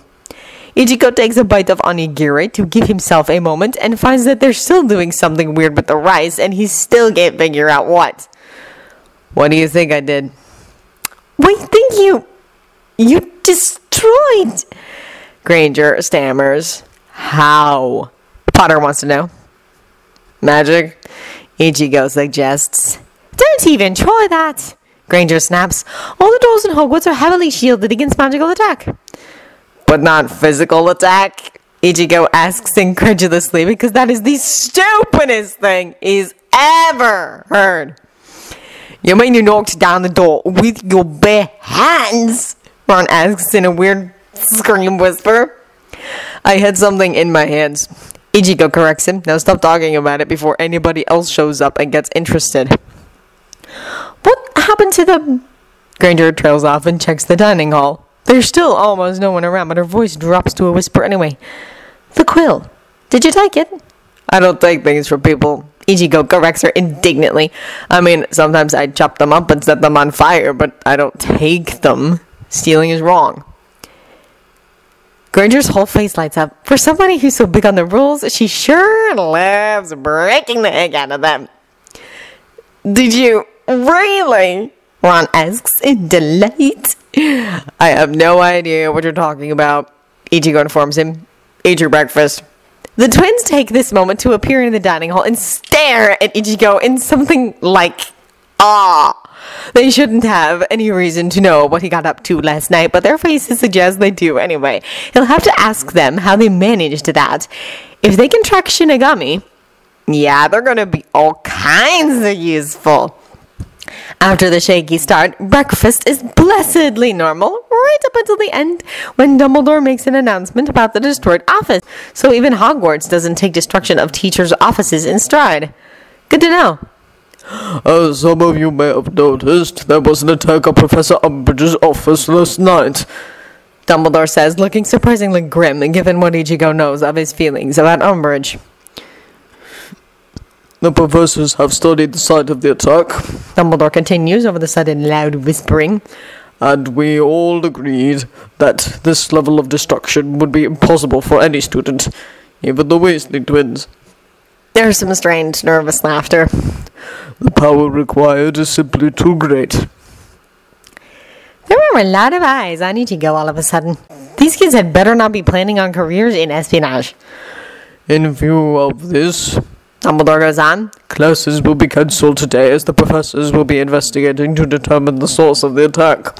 Please remain in your common rooms until your heads of house inform you that the investigation has concluded. Those of you who had detention with Professor Umbridge today, your detentions will be delayed until her office is repaired. Thank you for your attention. Umbridge looks like she might actually pop a blood vessel in rage, which is gratifying. Ichigo wonders who she thinks did it and whether he's going to need to protect that person from her. Ah well, tomorrow's problems. Mr. Kurosaki? McGonagall says calmly, appearing across the table with a neutral expression and murder in her eyes. If I could have a brief word about your schedule before you return to the common room. Oh, sure. Ichigo stands up and notices that Potter's crew looks worried on his behalf. He frowns at them. He told them he wouldn't get in trouble, and he won't. God, they have no faith at all. McGonagall bundles him into her office and casts a few spells on the door. Silencing spells, maybe? Or is she just logging him in? Mr. Kurosaki, She says sternly when she's done. the attack Umbridge's office wasn't just beyond students. It was beyond human. There were charms overloaded and wards shuttered that the best Cursebreaker in Gringotts couldn't manage in anything less than a month, which I know because I asked them. In fact, I can't think of a magical creature short of a dragon that could have unleashed so much destruction in so little time, and dragons, you would agree, are too large to be guilty. Ichigo isn't admitting to anything until she makes him. He tries looking politely attentive. Why? She demands after a long unhappy silence. Why would you draw attention to yourself in such a meaningless way? I didn't, did I? He asks in surprise. Nobody's traced it back to me who didn't already know about me. Not so far, McGonagall grinds out. but that isn't an answer. Well, no sense lying about it. She had Potter using a quill that. Look, it used his blood for ink and it carved whatever he wrote into the back of his hand. I'm just saying, I'm supposed to keep him safe from bodily harm, and that is bodily harm. To say nothing of the psychological harm. McGonagall sits down, abruptly looking a little pale. A blood quill, she whispers. That's a dark artifact. That's. It breaks several laws to anyone outside of a school, but in one. Kurosaki, what did you do with the quill? I destroyed it. Ichigo admits, wincing. It had seemed like a good idea at the time. He hadn't known it was illegal, so it hadn't crossed his mind that he was destroying evidence. Sorry, I didn't know. McGonagall sighs at him in exasperation. Could you give me a list of dark artifacts? He tries. I think it's best for everyone if I avoid doing anything of the kind. McGonagall says firmly, then mutters something that sounds like sleek it we shade. Ichigo doesn't know what that means, but he doubts it's flattering. Do you have any future plans to torment the staff? She continues. No. Not plans, per se. He's operating on an as needed basis. I see. She's dubious, and she's right to be. But she doesn't call him on it, and this is just one more reason she's quickly becoming Ichigo's favorite teacher. Do try not to get yourself expelled, arrested, or murdered. Will you give it your very best effort? It's my main goal in life. She waves him off, looking like a person who plans to spend the afternoon drinking and questioning her life choices. Ichigo feels a little bad about that, but really, he's doing her a favor in the long run. She'll see. After everybody in the common room finishes bombarding Ichigo with questions about what McGonagall wanted, to go over my schedule. What? Did you think she was lying? The rest of the day basically turns into a party in Gryffindor. And then, bonus! They get cleared to have Quidditch tryouts in the evening. Everybody's excited. Ichigo decides to tag along and watch, since, from what little he understands of the game, it seems like a prime opportunity to kill somebody! It develops that Quidditch is like sky soccer with more balls, except a couple of the balls have minds of their own and periodically try to kill people just because. Because it's the wizarding world, and they wouldn't be having fun without at least a 50% chance of bloodshed at any given moment. What's the point of this? Ichigo asks Granger as someone gets attacked by an angry ball and falls off his broom. Sport, Granger says absently, doing her history reading and glancing up occasionally to make sure nobody's died. Whatever the point of sport is. Ichigo begs to differ. He's done sports, and it was always a way of working off rage or grief or stress. In no sport ever has the equipment up and tried to kill him, and he doesn't get why that's a thing anyone would want. It's funny. The wizarding world has less overt violence than Ichigo's used to, but a lot more institutionalized cruelty. Like attacking someone as a form of greeting is one thing, but blood quills and homicidal sports equipment is something else again. Even Kenpachi would find this school messed up, and if that isn't a damning commentary, Ichigo doesn't know what is. Karin would love Quidditch. Ichigo silently vows never to tell her a thing about it. In the end, Ron gets picked for the dubious privilege of having possibly sentient sports equipment thrown in his head all game long. For whatever reason, he seems really excited about this. There's yet another party over it. Ichigo makes it about 15 minutes in before he's maxed out on human interaction for the day. Then he goes to hide on the roof and wait until it's time to make his calls. He's calling Chad today. He really feels the need to talk to someone sane and calm for a minute. Until it gets late enough to do that, he takes a stab at some homework and idly wonders what Umbridge's next move will be. He hopes it's a good one because institutionalized cruelty notwithstanding, he feels kind of wasted here. There's Quidditch practice on Saturday, and Ichigo goes because he feels obligated.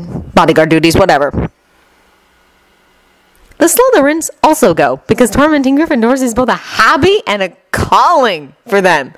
Practice is such a travesty, it's painful to watch. There are endless dropped balls and missed shots, and it all accumulates in the Weasley twins accidentally poisoning a teammate and everybody running off to the hospital wing. The Slytherins laugh and laugh. As they should, really.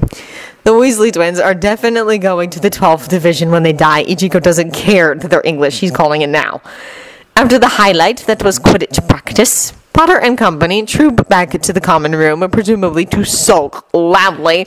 So Ichigo decides it's as good a time as any to hunt down Luna Lovegood and ask her why the heck she knows about Shinigami. Somebody asks around for her. Everybody he asks looks shocked that he's talking to them, and even more shocked that he wants to find Lovegood. But after more dithering than Ichigo thinks is strictly necessary, someone does finally direct him to the library. Lovegoods reading at a table barely visible from the door, just on the edge of the stacks, within sight but not earshot of the librarian. Ichigo's impressed. Nobody can pick on her because the librarian's right there, but the librarian can't overhear any conversations she might have, and neither can anybody else without her knowing about it because she's got a clear view down the aisles between all the stacks near her. There's nowhere for anyone to hide which is good because Ichigo can't afford eavesdroppers. He'd been planning on dragging her out to the lake for this talk, but it looks like there's no need. Of course, he'd be even more impressed with her if she hadn't chosen to wear a necklace strung with five giant glass eyeballs of various colors, but what the heck, no one's perfect. Hey, he says, pulling up a chair at 90 degrees to Lovegoods so they can talk, but also both keep an eye on the door and the stacks. Ichigo Kurosaki. Lovegood replies, eyes drifting slowly to his. I'm doing homework, you know. I know, sorry to interrupt, but I kind of have to ask. How do you know about Shinigami? How did you know I was a Shinigami? Shinigami? Soul Reapers. Her mouth opens in a silent ooh, and she actually shuts her book. So she thinks this topic deserves her full attention. That's a relief. My mother is a soul reaper, she explains.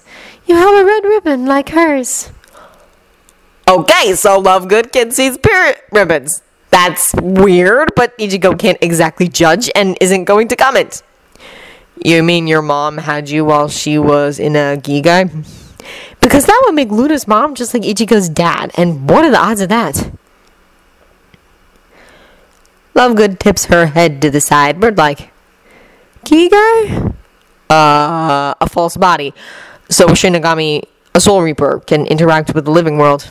Oh no, not at all. Lovegood says in surprise. She was human when I was born and then she died. And now she's a Soul Reaper. Then. Oh no, I still have no idea how you know about Soul Reapers. And why do you know about Yachiru? My mother was quite the experimenter, you know. Ichigo didn't. He doesn't see what that has to do with anything either. She's made an effort to meet other researchers in Soul Society to pull their knowledge. It's very frustrating to her superiors, I understand. They want her to stay in one place, but she wants to have conversations with Akon, who was part of your part of Soul Society, isn't he? Yeah, he is. So this is Akon's fault. Ichigo honestly didn't see that one coming. He would have blamed Urahara before anybody. Still not seeing how you know all this. Sometimes she comes to the house and tells me about her day. Lovegood explains dreamily. That's 15 kinds of not allowed. Not that Ichigo has a leg to stand on when it comes to what is and is not allowed. Oh, she doesn't know I can hear her or see her. I don't tell her because I'm afraid she'll stop coming if I do. And that is one of the loneliest things Ichigo's ever heard. He wonders if he'd have had the self control to do that if it had been his mom. He doesn't think so. He'd probably have opened his mouth right away and ruined everything. I lost my mom when I was nine. He confesses, feeling he owes Logan Luna something for dragging this horrible story out of her. Though the more accurate statement would be, I helped get my mom killed when I was nine. I don't think I could have done what you do. Not letting on. You're kind of amazing. She smiles at him, amused. No, I don't think that's true at all. I thought I was imagining her at first, you know, because I wanted her back so badly. I didn't dare say anything to her because if I had, everyone would have known I've gone mad. It took me months to decide that she was real. You wouldn't have made that mistake if that's the only difference between us. Ichigo stares at her in silence, thinking of the way she all but forces people to think she's mad these days. Maybe she wishes she'd never cared about other people's opinions of her sanity. Maybe she's punishing herself for it. You can start talking to her now, though, he says, starting to get worried, if that's what you want. I really can't. Luna disagrees, maintaining a faint smile. She always has a watcher, I suppose, to keep her from doing anything improper. If the watcher knew I'd been listening all along, I imagine my mother would be in a great deal of trouble. Yeah, she really would. So instead, Luna stays quiet and listens to her mother talk and hates herself for not saying anything back when she could have. Well, this has been a uniformly awful conversation. I'm sorry, Ichigo says. Sorry about Luna's life. Sorry about bringing it up. Thank you, Luna responds gravely. And what about you? What about me? When did you die? Oh. Yeah, that's a logical assumption to make. I'm not actually dead, I don't think. I mean, this isn't a Gigai. It's my real body. A living soul reaper, Luna says, eyes shining. So it's you. My mother's talked about you. You're quite famous, actually. Did you really invade Soul Society with a handful of living humans to rescue a damsel in distress? Ichigo tries to put the concepts of Rukia and damsel in distress into the same mental space and possibly sprains something in his brain. Your mom just gets everybody to tell her everything, doesn't she? He mutters irritably. She does. Lena agrees, placid. She's also very interested in anomalies, and you're an outstanding anomaly. I'm not that weird, Ichigo insists, feeling defensive. Hmm, how many living Soul Reapers are there? One. Ichigo admits grudgingly, far as I know. Anomaly! Luna trills, reaching over to pet him on the head. Anyway, she wasn't a damsel in distress. Ichigo needs to clear up this misapprehension before Rukia finds out about it and kills him. She got into trouble for saving my family. I owed it to her to return the favor, that's all. I like you, Luna declares. Now go away, I have homework to do. Ravenclaw, huh? Ichigo mutters, standing. What beyond measure is man's greatest treasure? Luna sings songs, turning back to her book and shutting Ichigo out. Ichigo swings by the common room to make sure Potter's still alive. He is. Well then. Then he goes for a run to clear his head and kill time until it's late enough to call and complain about this mission once again to everyone responsible for it, starting with Rukia! Breakfast on Monday is loud and unhappy because Umbridge has managed to make herself the Hogwarts High Inquisitor. At that point, Ichigo feels you should just call yourself the Hogwarts Evil Overlord and have done with it. The title must be soothing to her though because her face is almost back to a normal color. Disappointingly.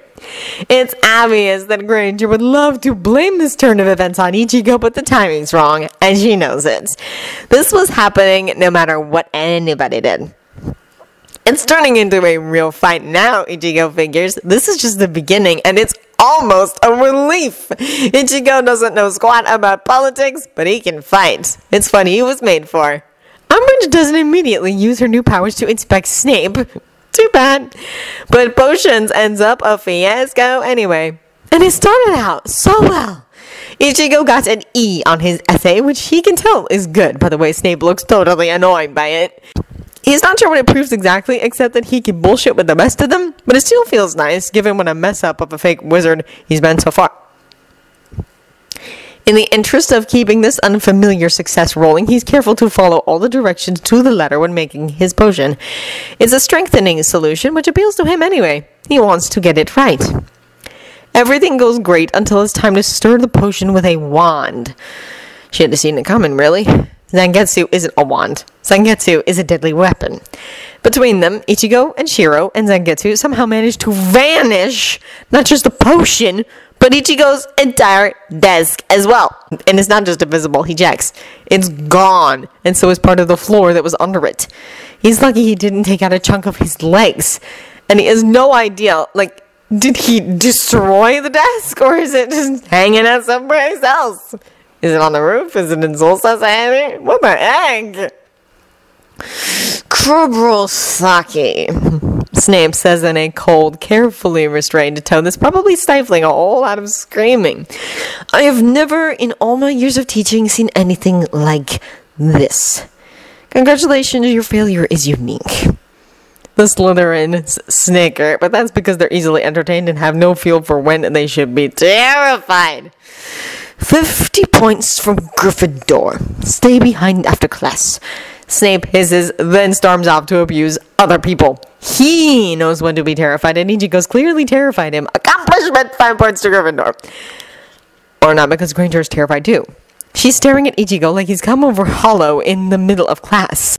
She keeps it up long enough, in fact, that he eventually pats down his face to make sure he hasn't, and Shiro laughs at him. Shiro's very Slytherin, come to think of it. Once class is over and everyone's fled, Snape casts a bunch of spells on the door. Some of them sound familiar. Ichigo thinks they might be the same spells McGonagall cast on her door when she and Ichigo were having real talk about Ichigo destroying Umbridge's office. Memories. Kurosaki.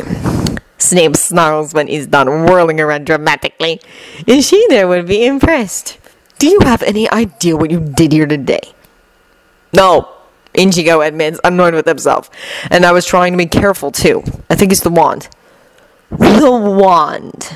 Snape repeats slowly. I'm aware that you're not human, Kurosaki, but are you now telling me that your wand isn't a proper wand either? And if so, can you explain why you've been allowed into my classroom with it? A classroom full of potentially fatal potion ingredients. Can you explain why the fact that I'm not all human is apparently break room gossip in this place? Snape scowls. I was not informed in my capacity as a professor, but because of my affiliation with other organizations. Oh. Come to think of it, Urahara's report did mention that the Order had teachers in it. One of them was even a spy. Was it Snape? That would make sense. Well, now Ichigo feels even more stupid. Right, you're that guy. I read a lot about this place at once, forgotten some of the details. Answer my question, Kurosaki. Snape demands, unimpressed with apologies. My wand is actually a sword. I just talked it into looking like a wand.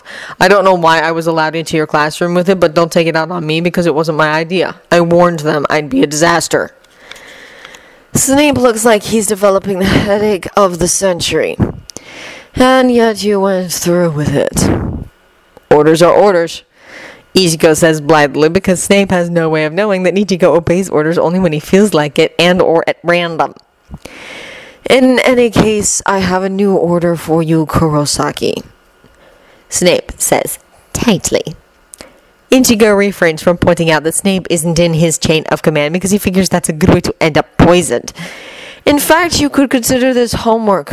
Find a stick somewhere, sand it down until it looks like a wand, and use it in my class exclusively from now on. You'll never create a successful potion, but on the other hand, you won't slaughter us all in an explosive show of incompetence. Do you understand? Yes, sir, Ichigo says, aiming for meek and probably missing. I would give you detention, but since in an ideal world I would never see your face again, that would benefit neither of us. Instead, I'd like you to write an essay on what went wrong today. But we know what went wrong, and I can't write about it. Classified. Snape leans across his desk with a crazed look in his eyes. Then I advise you to be creative.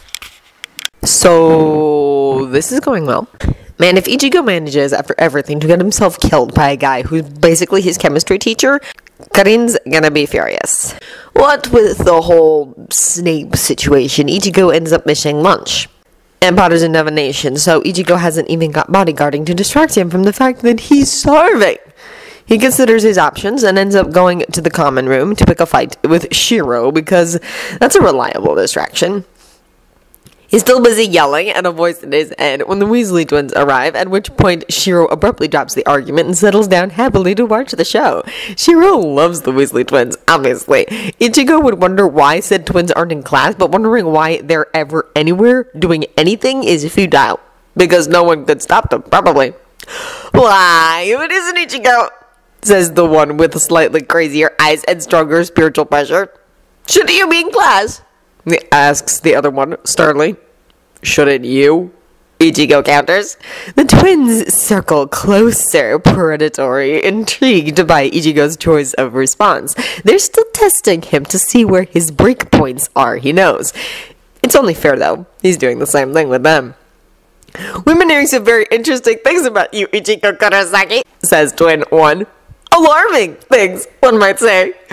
Adds Twin 2. Destruction of property, terrorizing the innocent, entering the school under false pretenses, and possibly a false identity. For shame, Ichigo, they conclude together. Ichigo has no idea where they heard any of that, but hats off to their grapevine. Who are these innocents I'm supposedly terrorizing? They like that he didn't deny the rest, he can tell. Their faces light up like Kenpachis when he realizes a fight's gonna be good. Poor Peeves, explains Twin 1. I've never seen a poltergeist cry before, says Twin 2, trying to look sad, but mostly just looking avidly, alarmingly curious. All the ghosts are terrified of you, we hear. Even Binns, and Binns hasn't noticed the living world in centuries. Yeah, well, technically he still hasn't. What do you want? Ichigo sighs, figuring there's no point in dragging this out. We want to know what you are! Twin One says, leaning forward intent. And then they want to know how they can use him, no doubt. What's in it for me? They weren't expecting that. Lunch? Offers Twin 2. These guys are uncomfortably similar to all of Ichigo's favorite people. I am pretty hungry, but not enough to sell my soul for lunch. How about lunch and an unlimited number of future live diversions on demand? Just in case you need to blow up more offices and so on. Twin 1 suggests. Oh, and they've gone and offered Ichigo exactly what he wanted from them. Now he has to give them something freaking perceptive people. Damn. He mutters unhappily. The twins are delighted. And they manage to produce a decent sandwich, so that's something.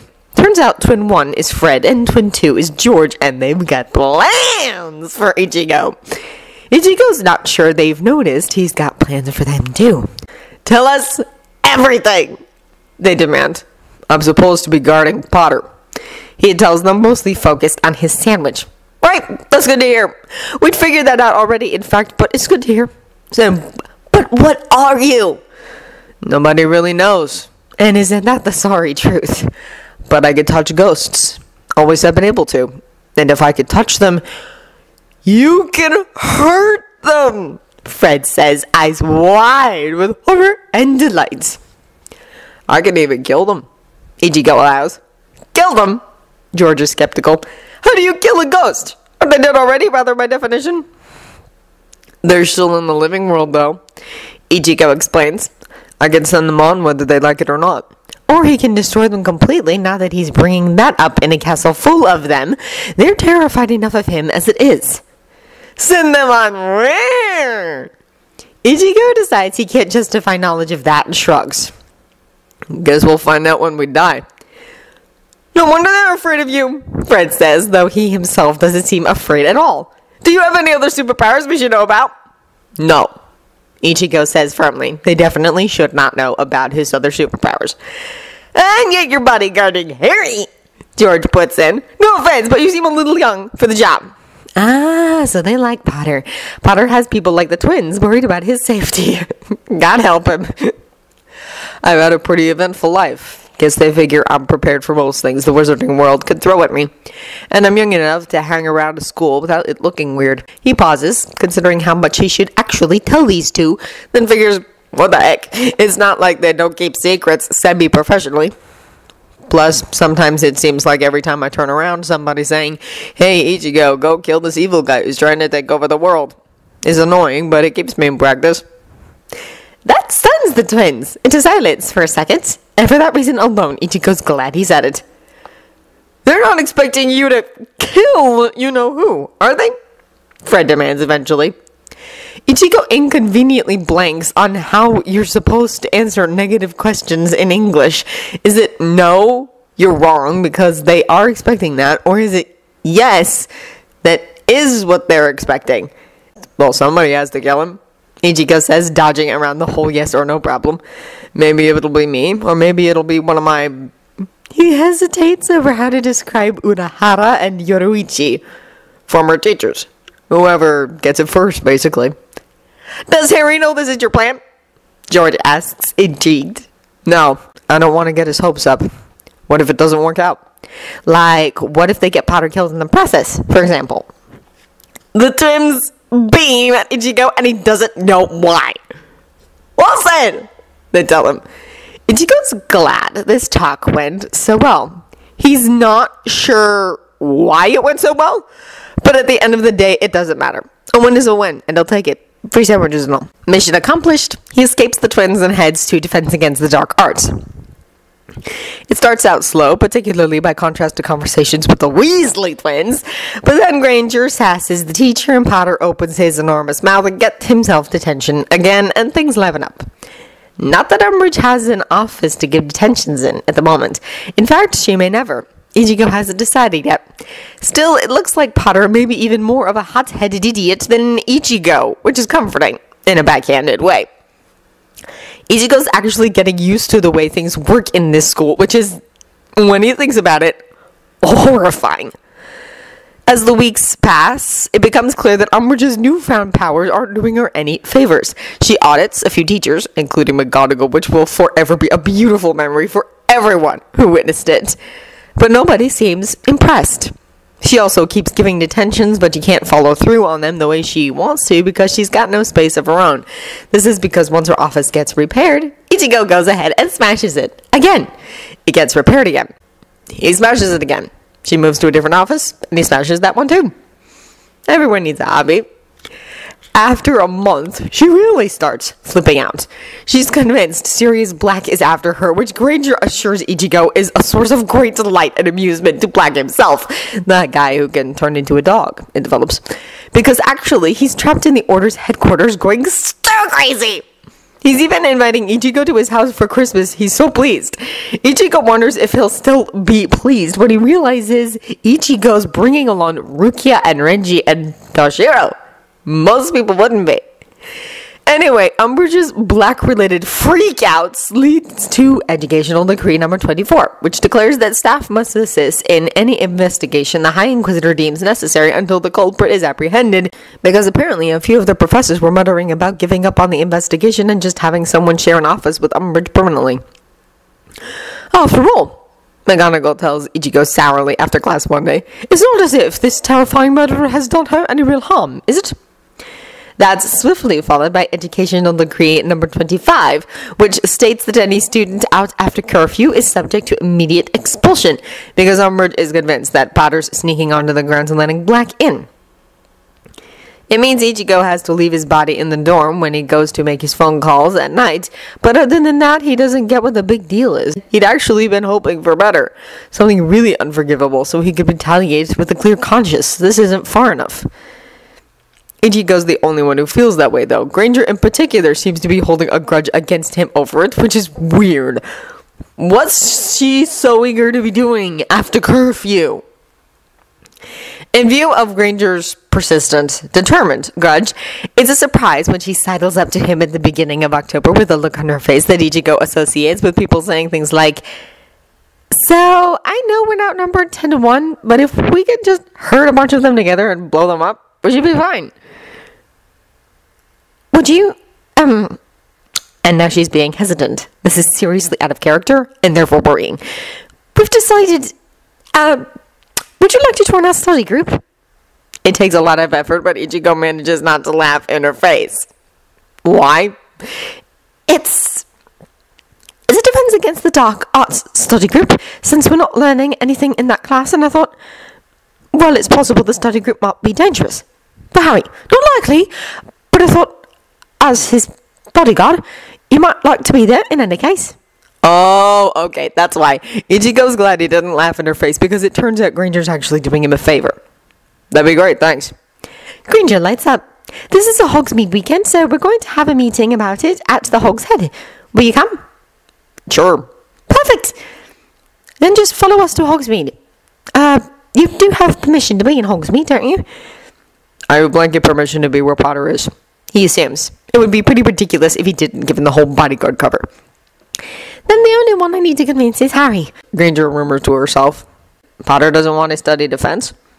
That seems unlikely. Harry doesn't want to teach defense, Granger corrects. but the truth is, he's the only one who can.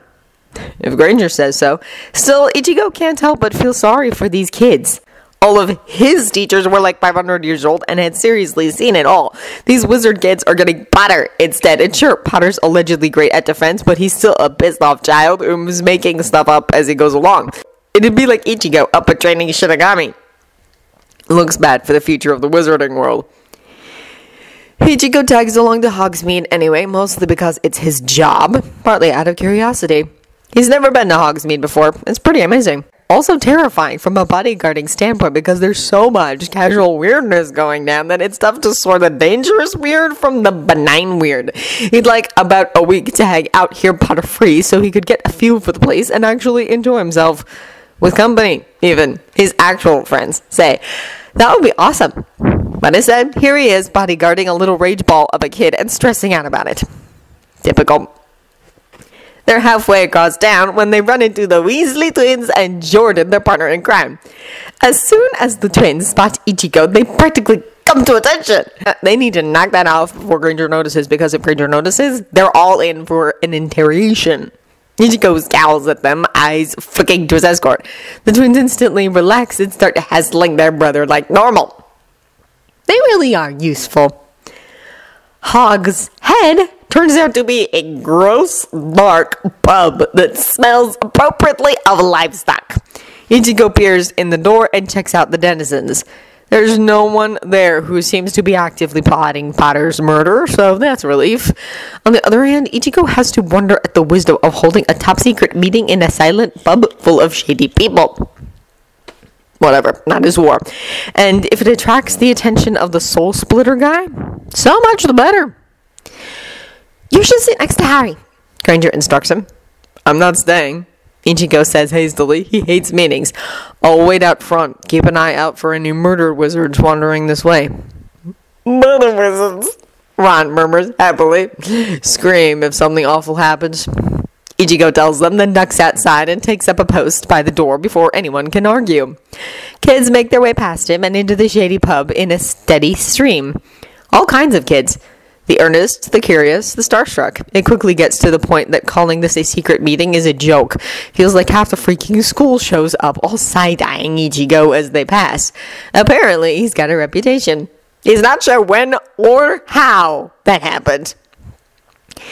Here's your face, Luna says on cue like a mind reader, casually elbowing him as she goes by.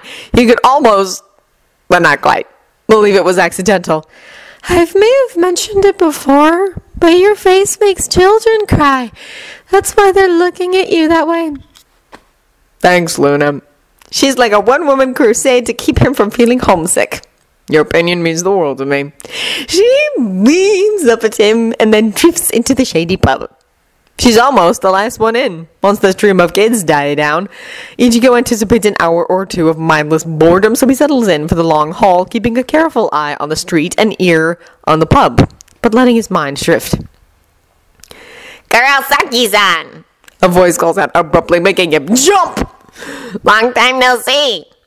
Urahara-san, he says, because who the heck else would materialize beside him in the middle of Hogsmeade?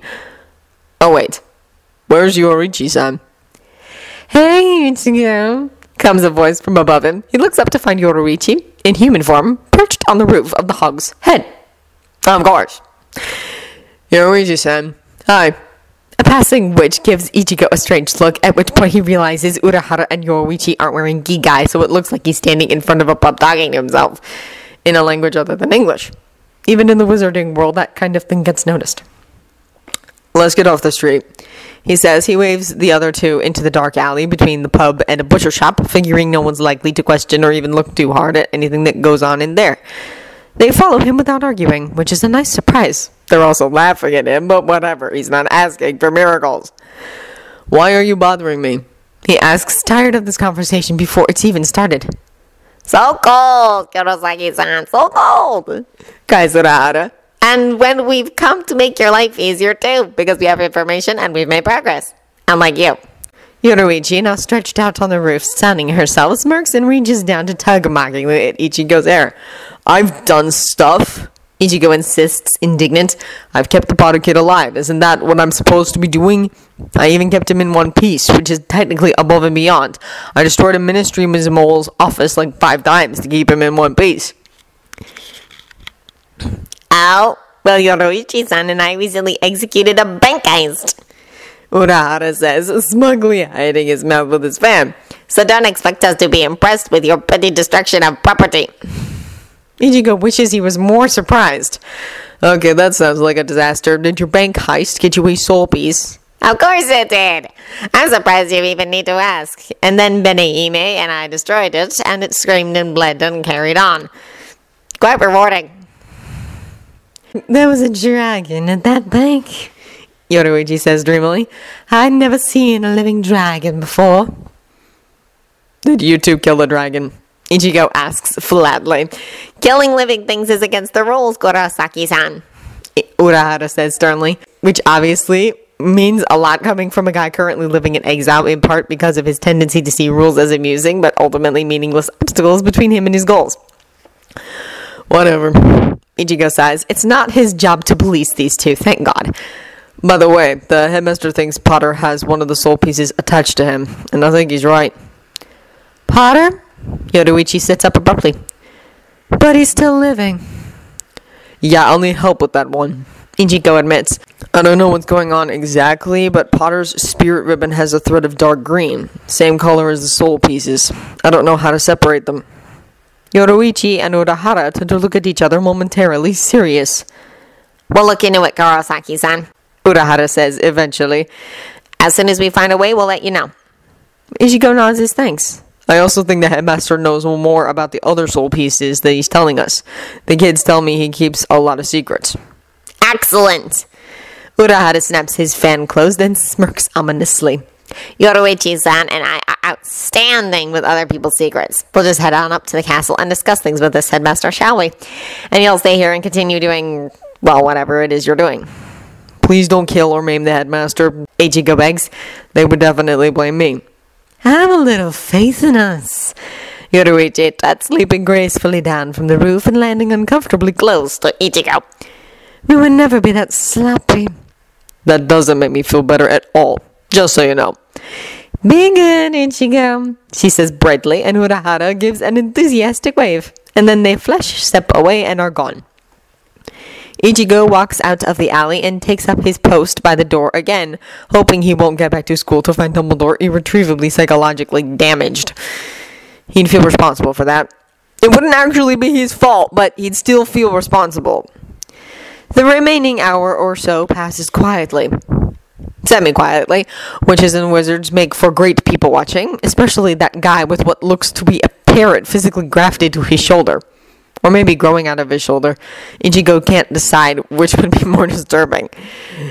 Eventually, though, the kids pour out of the pub in an almost perfect reversal of the way they poured in, complete with where he looks at Ichigo. But Luna gives him a nod and a smile, and the Weasley twins give him a conspiratorial wink. At least he's not a total pariah. Ichigo? Granger calls, poking her head out the door. The meeting's over, but could you come in here for a second? Sure. He follows Granger into the shady pub, suspicious about her motives. Everyone's agreed to the defense group, Granger explains, and everyone signed a contract promising to keep it a secret. She gestures to an incriminating list. Ichigo nods, not sure why he's being told this. And I was thinking, well, I was thinking that you should sign it too. And now Granger's not even in his eyes. Why? What unholy magic thing will happen to me if I sign that paper? Ichigo demands, cutting to the chase. But how would why would you think that I Oh, Granger. It's like she thinks he hasn't been paying attention at all.